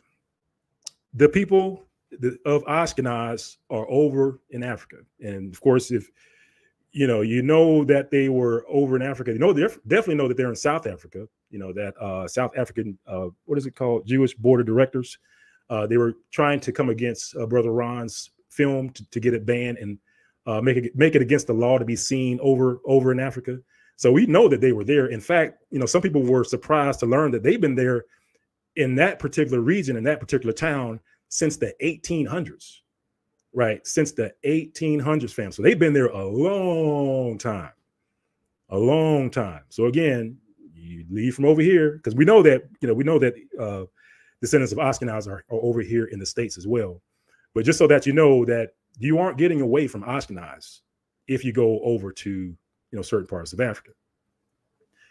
And just to show you this uh, here, family, I'm actually going to start off with the the creation of the Anti-Defamation League. What you're looking at, family, is the creation of the eight, what you know, what fo- folks call the the ADL, the Anti-Defamation League, and let's see how they were formed, right? Who formed them, and then we're going to see where these people who formed them, where they're operating out of. So this says this is talking about the formation of the Anti-Defamation League, and I'm going to stick to the highlighted text where it says prominent local Jews, members of the national organization. It says Anti Defamation League with executive offices in Chicago and member and represented in Washington by a number of members of Congress and citizens. So basically, family, when they were created, they were created by representatives in Congress. Representatives in Congress. The Washington members are representatives, and it kind of just lists the names right? And those are the names. And it says the, the Anti Defamation League was founded under the auspices or the direction of the Independent Order of B'nai B'rith. And family, we're going to go into this organization at some point, uh, most high willing. But the reason why it says, why it reads like this, why it says Independent Order of B'nai B'rith, that's because they are a fraternal order. They are a fraternal order. You know, all this talk about Masons and stuff like that. Oh, there's some Masons that you need to worry about. You know, don't get me wrong, family. You know, there's some definitely some Masons you need to worry about. And it's not the ones that, you know, that folks around here talking about some made up hand signs and stuff like that. This is this isn't that. This is the organization that has had its hands in the in the demise of so-called Negroes all around the world, especially specifically here in the states. And you need to know that it is a fraternal order. And most, like I said, most high willing, we will go into that. But I'm going to skip this slide. And what I'm going to do, family, let's see, it says, it says like the Anti-Defamation League. I'm, I'm, at the bottom here where it says uh, the Anti-Defamation League, which was organized organized in Chicago by members of the B'nai B'rith fraternal org organization. I'm, I inserted that has spread throughout the country. So the purpose of me showing you this, families, is I just want to show you that the Anti-Defamation League was organized by members of the B'nai B'rith Fraternal Order. These Mas- these Jewish Masons, so to speak, created the Anti-Defamation League. Right. So the B'nai B'rith organization created the Anti-Defamation League.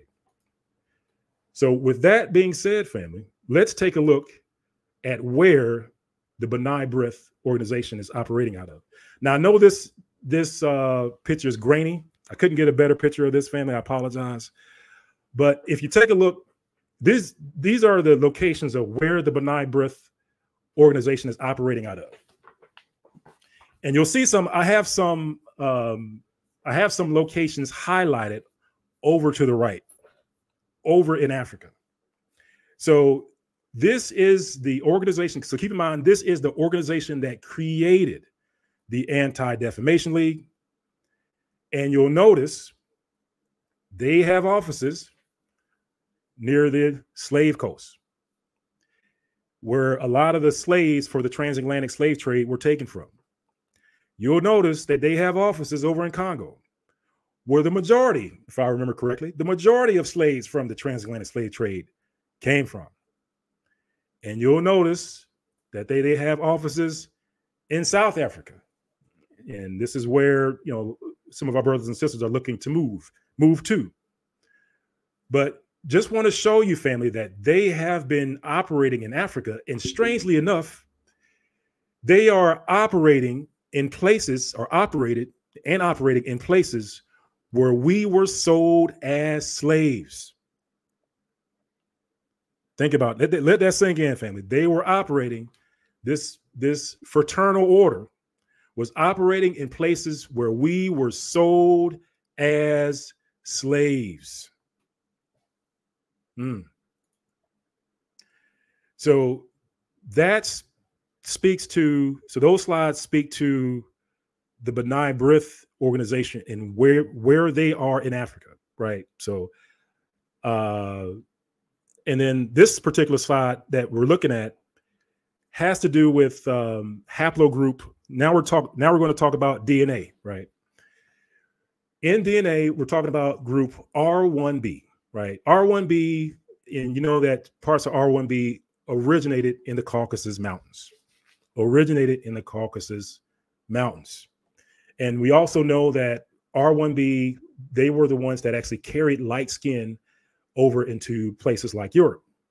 And we also know that uh, portions of R1b uh, that, especially in you know Ukraine, uh, in Crimea, that area is where blue eyes came from. Like all the all the people that have that have blue eyes, you know, came from this region of uh, of the Khazars of you know the Northern Caucasus, right?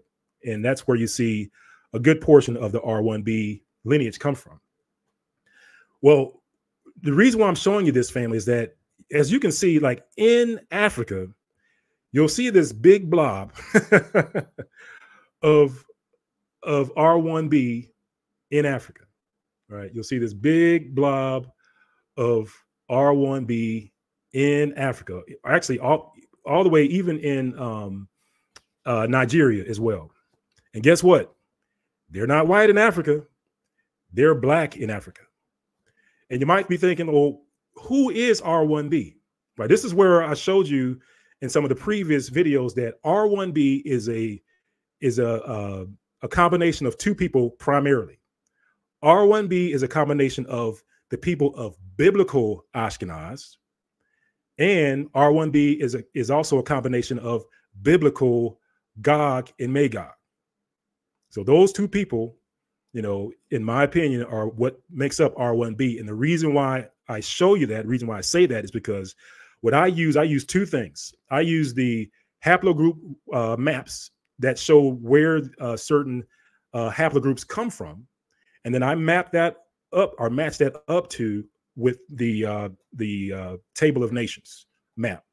So when you look at the haplogroup map and the map says R1b comes from like the territory of Romania, Georgia. And when you look to see biblically what those areas were called, uh, based off of the Table of Nations, based off of the Table of Nations, though that territory is biblical Ashkenaz, right? Biblical Ashkenaz. So that's that's why. So the point here, the point here, family, is that in Africa, you potentially have Gog, Magog, and biblical Ashkenaz all up in Nigeria, Chad, southern uh, southern uh, Sudan, all right here. And this isn't the, the only place that that they're uh, that they're at. And as I said before, they are black. They look like you. They look like you and I. They have uh, woolly hair, right? Dark skin. Some of them, some of them even have blue eyes. Like to me, you know, I've gotten to the point where I say that blue eyes is a giveaway for the Neanderthal gene, and the Neanderthal gene uh, traces all the way back to the Caucasus. So back when you know we were thinking that blue eyes was a novelty, it was something to, um, you know, you see a, you see it a lot in Hollywood, like in a lot of these Hollywood pictures and these actors and stuff. They tend to, if you if you kind of just pay attention, like the next time you go and take a look at movies, you'll see that a lot of the actors have blue eyes. And you know what we've proven according to DNA, you know, we we read the DNA reports that shows you that blue eyes comes from, I think I actually have it here in the slide, but blue eyes actually comes from uh, the Caucasus Mountains. It comes from Neanderthals. And this is another article where someone's saying some have also suggested that blue eyes are a result of ancient interbreeding with Neanderthals who have went into extinction extinction about uh, 25,000 years ago. So just to show you that that it's been reported. It's been, you know, they they've looked, they did the analysis. They took a look at the mutation, that the genetic mutation that causes blue eyes in humans, and then they took a look at the genetic mutation that causes that caused blue eyes in Neanderthals. And they said, when they took a look at them, they said, wait a minute, this mutation looks almost identical. And they were saying that so much so that the only difference between these two mutations is 10, I think they were saying like, like 10 places in the genes are in this mutation where they're different, which meant that one mutation came from the other. And what they were thinking was that the the Homo sapien mutation came from the Neanderthal. Like that's why they were saying that they're related. Like you don't get uh, mutations that close, right? And they not be and they not be related. Like they are related. So that's why people can say with confidence that blue eyes, yep, that comes from the Neanderthal because of that mutation is almost identical to the one that they found in Neanderthals. And not only that, we can use that to then track you know uh, people that have this mutation because we know where that mutation first got inserted into the into the Homo sapien genome. That occurred in Ukraine. That occurred in uh, the place around the Caucasus Mountains. And in here, you can see where it says when we're talking about R1b, it says uh, evidence of blue-eyed Africans also abounds throughout Africa, including South Sudan, South Africa, Nigeria, Uganda, and more. So again, this you know this is one of those traits where uh, we can say for sure that came from the Caucasus Mountains, right? Came from the Caucasus Mountains. And like I said, R1b is, you know, if, if you use the genetic origins map in conjunction with the 10 uh, um, the, table, the table of nations, uh, those people are biblical Ashkenaz and biblical um, Gog and Magog, all up in Africa, looking like you. All right. So here's uh, just kind of put this in here just to sh- uh, just to show you that you know what I'm telling you is what was written. You know that all blue-eyed people can uh, can be traced back to one ancestor who lived 10,000 years ago near the Black Sea. And if you read some other ones, they'll tell you exactly where that place near the Black Sea was in Ukraine. in Ukraine. And then the reason why I can tell you with a surety that that little remember that little blob that I showed you in Africa. Uh, let me back up here. Uh, this right here, family, like this blob right here in in Africa. The reason why we know that this is related to the people of the Caucasus has to do with uh, this map. Phylogeny of phylogeny of R1b. So you have R1B1A, and as you can see, the V88 version of the R1B1A, which is that blob in Africa. You see where it says Levant in Africa? That's where it comes from. R1B1A. Let's take a look. And you so so basically, family, get this in your mind that that blob that you saw in Africa comes from R1B1A. Where does R1B1A come from? You can see, you might, I know it's hard to see on this map, but off to the right, right underneath the Caucasus in the territory of biblical Ashkenaz, it says R1B1A. And you see where it says V88, and that's that branch that goes into Africa and settles in Nigeria. So that's biblical Ashkenaz, biblical uh, Gog and Magog in Africa. Looking looks looking like us, family, looking like us. Right. And so, and this is something that was a revelation that actually came to me late, family. You, you remember how uh how for the longest for black folks, they kept tra- kept trying to tell black folks like, hey, you know, black folks, you are you are cursed people. You know, black folks, uh, it's because of the, the the curse of Canaan. The curse of Canaan is upon you. That's why you know you guys are slaves and you can't really you know, you're always the tail and not the head. Uh, you're, you're below and not above. Like that's why. That's because of the, the curses of Ham. But family, when you think about it, Canaan is in Israel. Literally, they were telling you where you were from. Like, you know, of course, like I said, you know, of course, we all believe different where Israel is. But I just want to show you that when they were saying that we had the curse of Cain on us, well, the place where Cain Canaan came from was in this place that they call the Middle East. That's what I mean. They were literally kind of telling you where we were from. This, this stuff was going over our head because we didn't really know where they where they said Canaan was. Right. So I just want to point that out to you. I was like, man, this they were telling us that we were the people all along and we didn't, didn't even know it. So again, like I said, I know we believe this, believe differently. That's fine. Like I said, we get over to Africa, we're gonna we're gonna man hug, fist bump, you know, I'm gonna wish you well. Y'all gonna wish me well. We're gonna go about our business. No uh, skin off nobody's back. Not a big deal, right? Not a big deal, fam. But I but I do want to show you that is that Ashkenaz. You'll see Ashkenaz at the top middle, right? That's the area where R1B1A uh, originates from, from biblical Ashkenaz, right? And you'll see Gog and Mag or Magog off to the left. But what happens, what happens, family, is that over time, you'll see Magog transition from the left up to above Ashkenaz, right? Above the, you know, the place where Ashkenaz came from.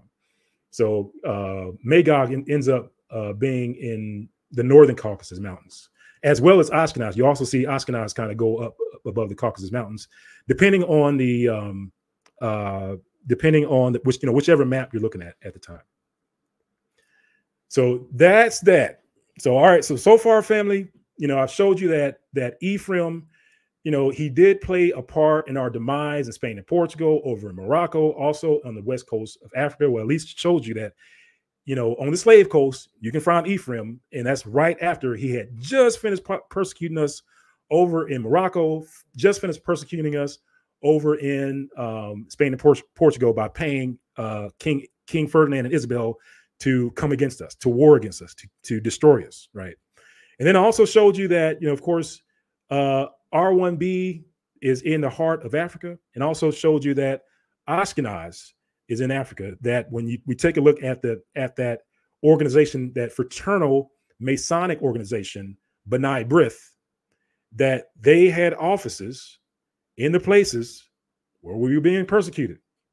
They had they had offices in the places that we were getting sold as slaves, right?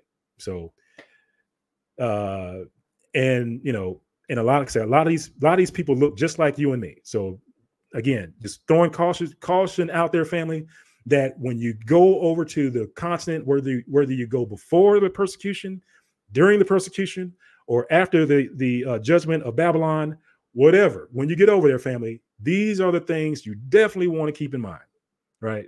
Because there are going to be a whole bunch of people that look like you, and you may want to start asking, "Hey, what, what, what's your name again?"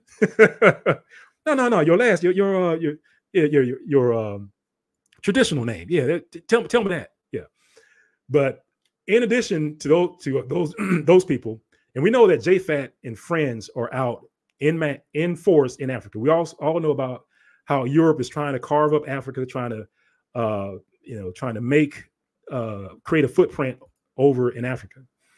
And I know some of our brothers and sisters have, have brought this out, but I'm just going to bring some bring uh, revisit some of these references. But you may not, you may or may not have heard of AFRICOM. AFRICOM. So AFRICOM, it says a formerly secret map of AFRICOM shows. So uh, AFRICOM is the U.S. setting up bases in Africa. The U.S.'s bases in Africa were called AFRICOM. So think about it, family. It's like, man, you you tired of the, the U.S. You tired of the, you know, what I what I call the daughter of Babylon. Man, you get on a boat, a boat, plane, you know, a ship. You get on a, a plane and ship. You come all the way over here, and then you go around the corner. Man, you get among your people. You're all happy. You go around the corner, and you see a U.S. flag flying. like, man, what's what's going on? Who, who are these people? And they're working with the government.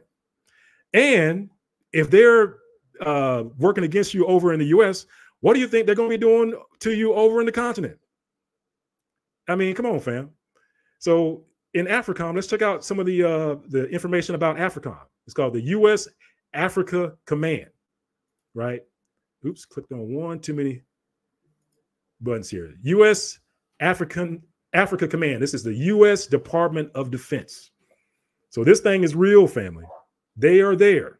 They got bases there, right? And you can see, check it out, people on the right that looks just like you and I, people on the left looks just like you and I, right? And we have a European in the middle training the brothers on the right and the brothers on the left. so guess what? You go to Africa, you uh gonna meet some people that look like the brothers on the on the right, not knowing that they're working with AFRICOM. That's what I'm saying, family. And so it's not just the tribes that you have to look out for. It's these um, these other nations that are training family. They're literally training the native populations family over in Africa. So that's another thing to look out for. And this is this is like a map of some of the uh, of the AFRICOM places, also native or NATO NATO bases in Africa as well you can see that they are in many places. And actually, the places where they are kind of changes, you know, based on, you know, which map you're looking at. And also, you know, you heard about Russia trying to get bases in Africa as well. You know, these are the places where Russia or the Wagner group has a footprint in Russia, right? The Wagner group has a footprint in Russia. I'm sorry, I said in Russia, in Africa. Sorry about that, fam in Africa. The Wagner Group, who's you know Russian Wagner Group, has a footprint in Africa. That's what I meant to say. So again, you know, you're in Africa, you're among your people, you'll go around the corners like, woo, man, I made it up, made it amongst my people. You go around the corner, you see a, a Russian flag flying. What's up with that? Or maybe that maybe they they won't even have a Russian flag. Maybe they just train the natives into their and, and indoctrinate indoctrinate them into their philosophy and their beliefs and their hatred for you. They're like, oh, yeah, yeah, yeah, but yeah, we're gonna give you this money. But by the way, there's these people that just got there. Yeah, yeah, yeah, those people. Oh, they're no good. Oh, yeah, yeah, yeah, uh, yeah. You might want to put them into some some camps or something like that. Yeah, yeah. just just uh, make sure you, you you oppress them and do all this that, that stuff to you. And if you do that to do that to them, you know, maybe we, we'll give you some money. You know, who knows what they're telling them, family? Who knows? But you know, nine times out of ten, we know it's not good. So what we're doing, family, was that we're just going through some of these different bases in Africa. You can see a bunch of them over, you know, in northern, western, central Africa, right? So, like I said, depending on which map you look at, I mean, some and some of these bases are secret. It's not like they're going to tell you, right? So these are just the ones that that they know about. And then we can't leave out the Chinese. You know, China is trying to get some military bases. It's like China, they they do it uh, kind of like um, not not so they, they, they do it overtly. I'll put it to you that way. Like they'll try to do their military bases, but they'll they'll also you know insert themselves in Africa in certain pr- in programs. Like, hey, we'll build your roads. Hey, we'll you know we'll build your infrastructure. We'll build your um you know your, your facilities. You know, and they'll they'll bug them. they'll, uh, they'll they'll spy use the uh, those facilities to spy on the African people. But that's a story for another day. But just to show you that China is in Africa as well. And so these are the places like now, these are not China bases, but like I was saying before, China tries to insert themselves through, uh, you know, they try to insert themselves, you know, through some, you know, some of these these plans, like these these these uh, efforts and stuff that they, like they have in Africa. These programs, like, hey, we'll build your infrastructure. Like this was the the one for electricity. So this is where China has their their footprint on the electrical electrical uh, grid. And of course, when they do that, they they import their own people, right? And they carve out a place for their own people in Africa. So it's not like they're just giving the Africans money to do it. It's like, no, no, no. We we gonna bring our own people. Yeah, yeah, and we're gonna need a, a place for a village. Yeah, yeah, yeah. And we and we'll we'll police our own village. So it's kind of like a little a little Chinatown in Africa, all around Africa. Right. So again, and if you're thinking, well, the Chinese really haven't done anything to uh, the Africans, well, let me just remind you because you know I know this was a big thing when it came out in the news a while back, but just to sh- just to show you that you know that these foreign you know foreign entities don't always have Africa's best interest in mind. And one example of that was with this whole thing about rice. I don't know if you guys remember or not, but at one point in time, uh, there was a a case where China was, you know, selling Africa rice, and it's like you kind of wonder, like, why is Africa importing rice? They got all this fertile land. Can't they, you know, can't, you know, this product be produced in Africa? But that's a story for another day. But anyway, family, they, there was a, a a case where China sent over bags of rice, and when they looked at the rice, tested the rice, they found that it was plastic. Now, of course, they tried to, to deny it. It's like the first people that reported say it was plastic, and then then the other authorities came after. It's like, whoa, whoa, no, no, they're, they're not plastic. But when you look at the testimony of the people that tried to eat it, they're like, no, nah, it was plastic. so check this out, family. This is uh, like I said, CNN. It says plastic or not, over 100 bags of fake rice seized in Nigeria. So maybe you want to go to Nigeria and you just want to go around the corner and buy you some some rice. So check this out. It says one customer who avoided a potential mishap was, and don't ask me to pronounce the name. It says she said she bought 10 cups of the product from a small retailer in Ikeja area of Lagos in November. And she said, this is what she said, family says, it looked perfectly normal and the cost and cost less than regular rice. So I thought I got a great deal. Normally it would take 20 minutes to cook, but after 30 minutes, it was still hard. I added more water, and the aroma was chemical in nature. So I just I decided to discard it, thinking it had expired. She told CNN. Uh, Skipping says didn't, uh, and of course that person didn't formally report the incident. And it says the one uh, at the at the bottom where it says, in another case, a woman who received rice as a gift noticed something was wrong after cooking it. Her husband then called customs officials. So as you can see, family, and this this is the stuff that came from China. Like, so what you have to think, like, what uh benefit would they have in poisoning the uh the African population? You know, just just think about that because you know that Africa is, is ripe with resources, you know, rich with resources, family. So uh, you know, it kind of makes you wonder, you know, are they trying to pull the same thing that the Europeans did when they came over to America? You know, when you have the Native American Indians, and they started giving them blankets with smallpox and and uh, warring against them and all that other stuff, and literally wiping out the native population. Is that is that what's going on over in Africa?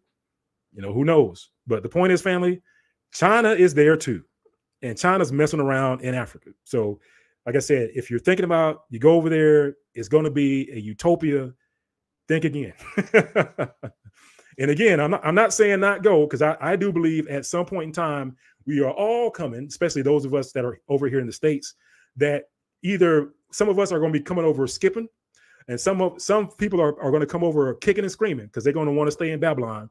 But Babylon is going to be a smoke that people are going to be, be able to see from afar off, and that it says that no man is going to be there. Like ain't nobody's going to be living over there, or at least you know maybe like six six feet under. Like you know what I'm saying. Like you don't want to, folks.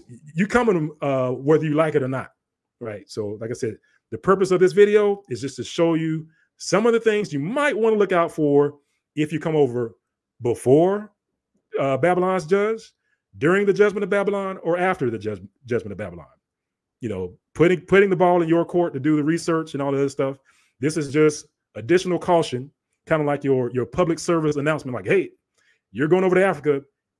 Uh, beware of this. This is this is uh, the purpose of this this video. And like I was saying, like just because they're black doesn't mean that they're your friends. and that goes uh, without saying. I, I, saw somebody put in the chat, you know, all skin folk ain't kin ain't kinfolk. That is 100. That is 100% facts, right? Even within Israel, because we also know that some Israelites, some uh, blood blood relatives of Israel are against Israel. So, you know, you just got to be got to be aware, family. Got to be aware. Pray pray to the Most High for discernment on that. Right. And for this family, I'm gonna what I'm gonna show you, family, uh, now is I'm gonna show you some additional places where Ephraim is. And this is this comes from uh, Sister uh, I think it's Dana Donna Reynolds. I can't pronounce her uh, last name, but she's a uh, you know she's a historian. She's a, a, a scholar, and of course you know even she thinks differently as far as like where Israel is. She she believes that Israel's over in Yemen, you know, because you know she looks over at Yemen and she sees all these names of tribes of the people that you can find in the Bible over in Yemen. And she says, Whoa, well, if you can find and places like people and places over in Yemen. So she says, Well, because I can find the people of the Bible over in Yemen, and because I can find the names of places over in Yemen, well, then Yemen is the is the uh the holy land, the motherland.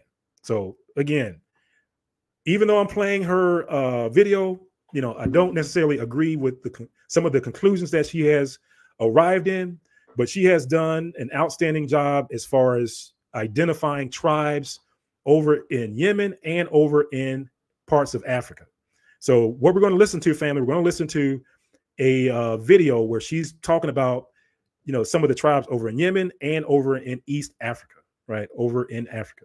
So, let me switch here, family. I think I got it here in my screen. Okay, so all right, so I'm going to play a little bit of it, and just let me let me know if you can um, hear the audio on this. I'm just going to play a little bit of it, and we're going to just just do a quick uh, sound check just to make sure that you can hear the audio. So here we go, family. And are known in um, you know to the colonialists, who are the people that actually colonized Britain. All right, family. So if you could hear that, family, if you could please just put a one in the chat. Yeah, just put a one in the chat if you could hear that audio, please, family. I just want to make sure that Okay, I see ones in the chat. Thank you, thank you, thank you. Okay, all right, so we're good. So I'm going to play it. Just going to back it up to the beginning. And again, this is a uh, you know a, a researcher, so she's done some research and she's uh, discovered she's discovered certain tribes in Yemen and certain tribes in Africa. So let's take a look. The first thing I want to get across is that when you're talking about these people, you're not talking about legendary folk you're talking about people that are still living under their names, and usually, you know, people of African affiliation. So, I'm I entitled this um, Esau on the Trail of Esau Part Two, and the Esau, as I was saying last week, were uh, still call themselves Esau, and are known in um, you know to the colonialists, who are the people that actually colonized Britain, colonized the Yemen uh, um, I guess in the 19th century. And they started writing about the different tribes there. So one of them are the Isa Kara, Kara, or Al Kara, who occupy Oman, but whose tribes also occupy or occupied the Yemen, as well as East Africa. East Africa. East Africa. So just so that you can you can uh, you're picking up on it, family. So she's saying that uh, some of the descendants of Esau can be found in East Africa. East Africa, and that is based off of their name, and that is based off of their own oral tradition. Their own oral tradition, Esau, who remember, family, according to the Bible, has a perpetual hatred of Israel. They're over in Yemen and they're over in East Africa. And again, just kind of making making the example, family. You go over to Africa, you, we on this this black thing. We're thinking like, man, ah, finally found some black folks. And as you as you can see in the picture, these people are black folks in the picture. Not only that, uh, in this particular soundbite, um, I, didn't capture it in this soundbite, but what she also says is that these people of Esau have a tendency of living in caves. Remember the Horites, Esau mixed with the Horites.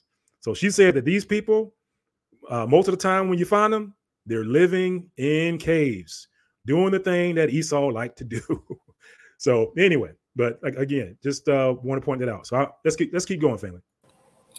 So, for example, all these different tribes or clans are the names of people of Esau, or Esau, as they call themselves still, the Isa, Isa or Isa.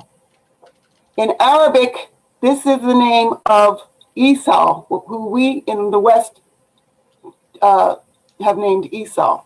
The word Esau or Esau means the goat. Okay. Uh, so they also live in a place called Dama, or what is called Edom. It does mean the red, or the red place, or the red mountain. They have places called Edom all over the Yemen, extending to even, you know, a little bit north of the Yemen in the Asir region. So these people were the Edomites, we don't who I'm showing you right now.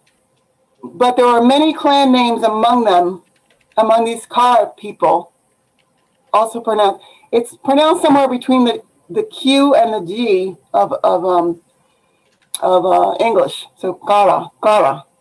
Okay, so these people came from Southwest Arabia and immigrated to the Yemen. In the Bible, however, you see the word Korah as one of the Horite people.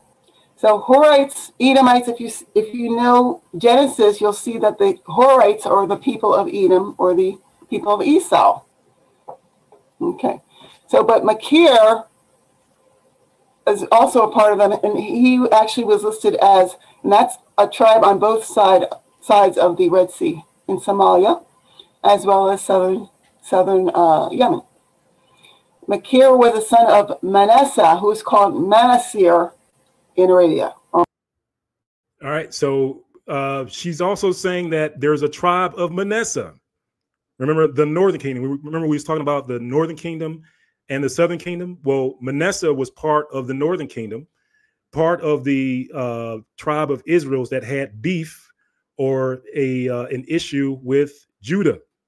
So remember uh, when we talk about the, the two sticks, you know, one stick represents the northern kingdom and another stick represents the southern kingdom. And that eventually, according to prophecy, that those two sticks will eventually come together to become one, right? Well, before those sticks come together, become one, they're two sticks and they're going to be after each other, family. So you just keep that in mind. So even the tribe of Manasseh uh, historically has been against Judah, right? Against Judah. So you may want to look out for the people of Manasseh in those areas.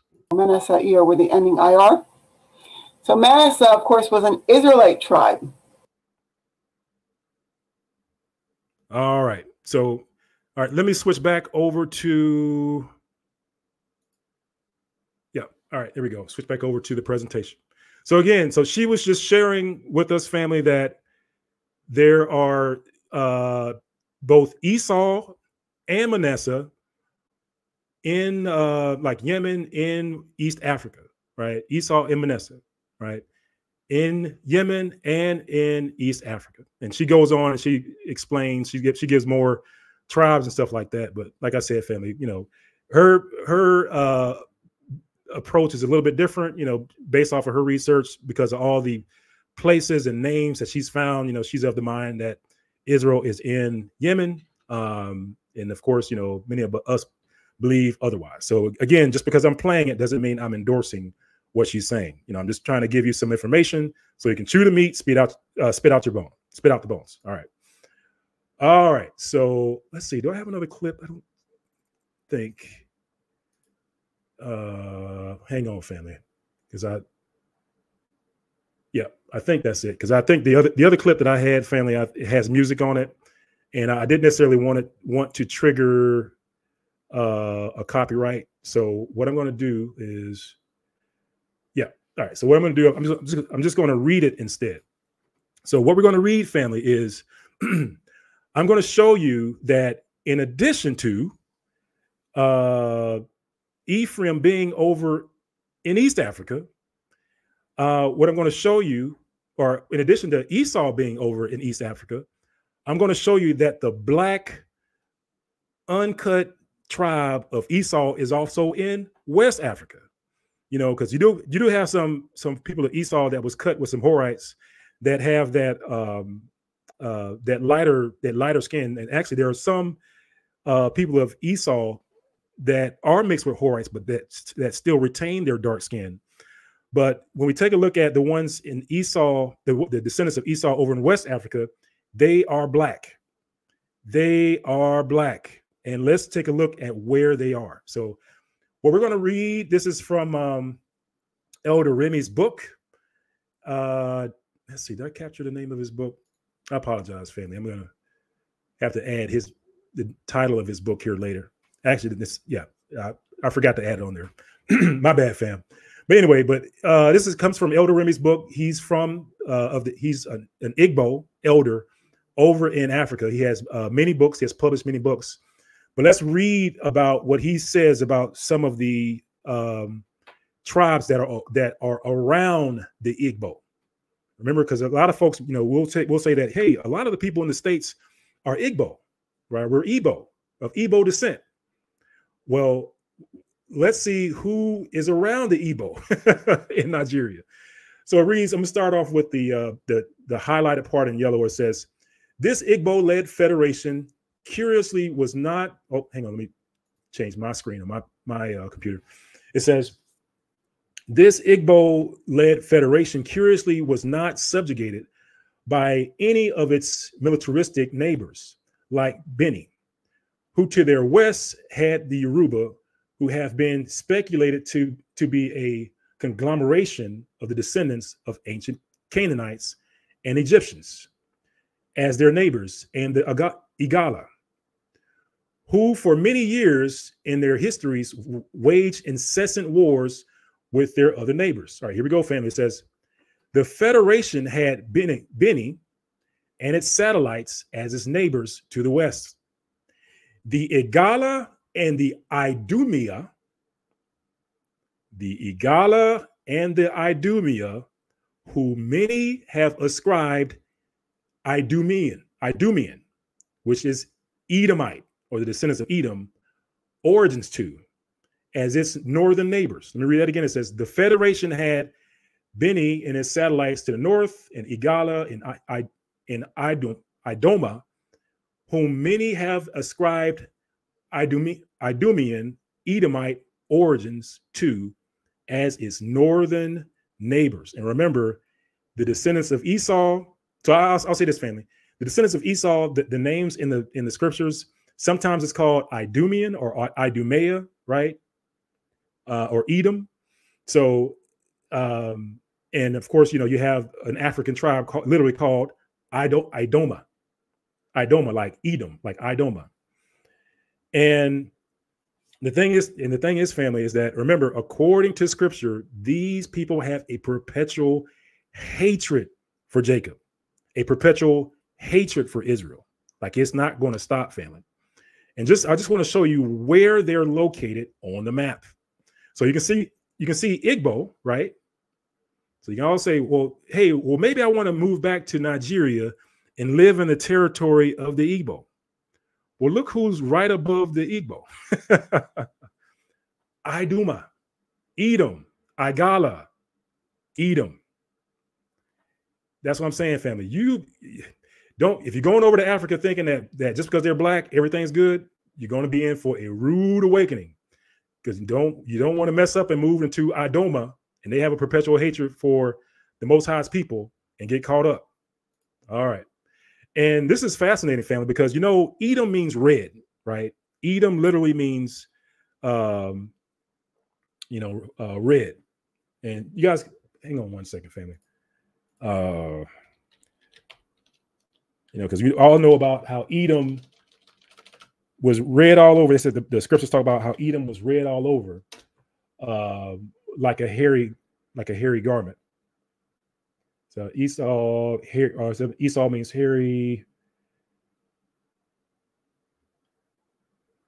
Yep, sorry, fam. I'm just trying to pull up the um, uh, the uh, Strong's Concordance uh, Hebrew word for Esau because I think I just just misspoke here when I said Esau means red. I think Esau means hairy. Hang on. Uh, hang on. Let me look at Strong six two one five. Let's see here, Esau.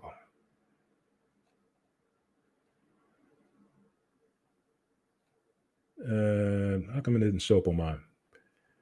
All right, so we'll say apparently. So anyway, we'll say that Esau was hairy and shaggy, right? Um, but we also know that Esau was Esau was associated with red. We'll, we'll, we'll say it that way. Esau was associated with red. It was it was uh, red all over like a hairy garment, right? Red all over like a hairy garment.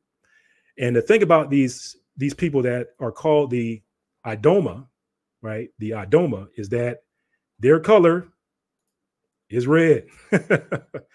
their color is red. Their color is red. So again, you know, pay what we want to do, family. We want to make sure that we're paying attention to the people, right? Paying attention to uh, people, uh, places, you know don't want to get we don't want you to be um you know have your have blinders on thinking that just because they're black everything's going to be good uh, and that puts you into a bad situation where you're literally moving into uh, the territory or the neighborhood of Edom, where the scriptures say that they have a perpetual hatred against you, or you're moving into the territory of Ephraim, where Ephraim still has envy against Judah, right? Or you're moving into the territory where the um, uh, the, the, United States or um, some of the, U- the European continents are training the African population, right, and, indoctrinating them into their uh, beliefs and their culture, right. So just something to keep in mind, family. Like I said, just wanted to put this out, this this video out as a um, uh, you know a, a public announcement, right? So feel free to, to take a look, uh, play it, you know, play it back again, family. Uh, take revisit some of these uh, these references or whatnot. But that is it, family. That is it. Thank you for hanging in there with me, family. I know it was a lot a lot of information, and I believe that's it. I don't think I have any any other slides. Yeah, that's it, family. So peace and blessings, peace and blessings. Hopefully, uh, everyone's uh, doing well, and thank you for dialing in.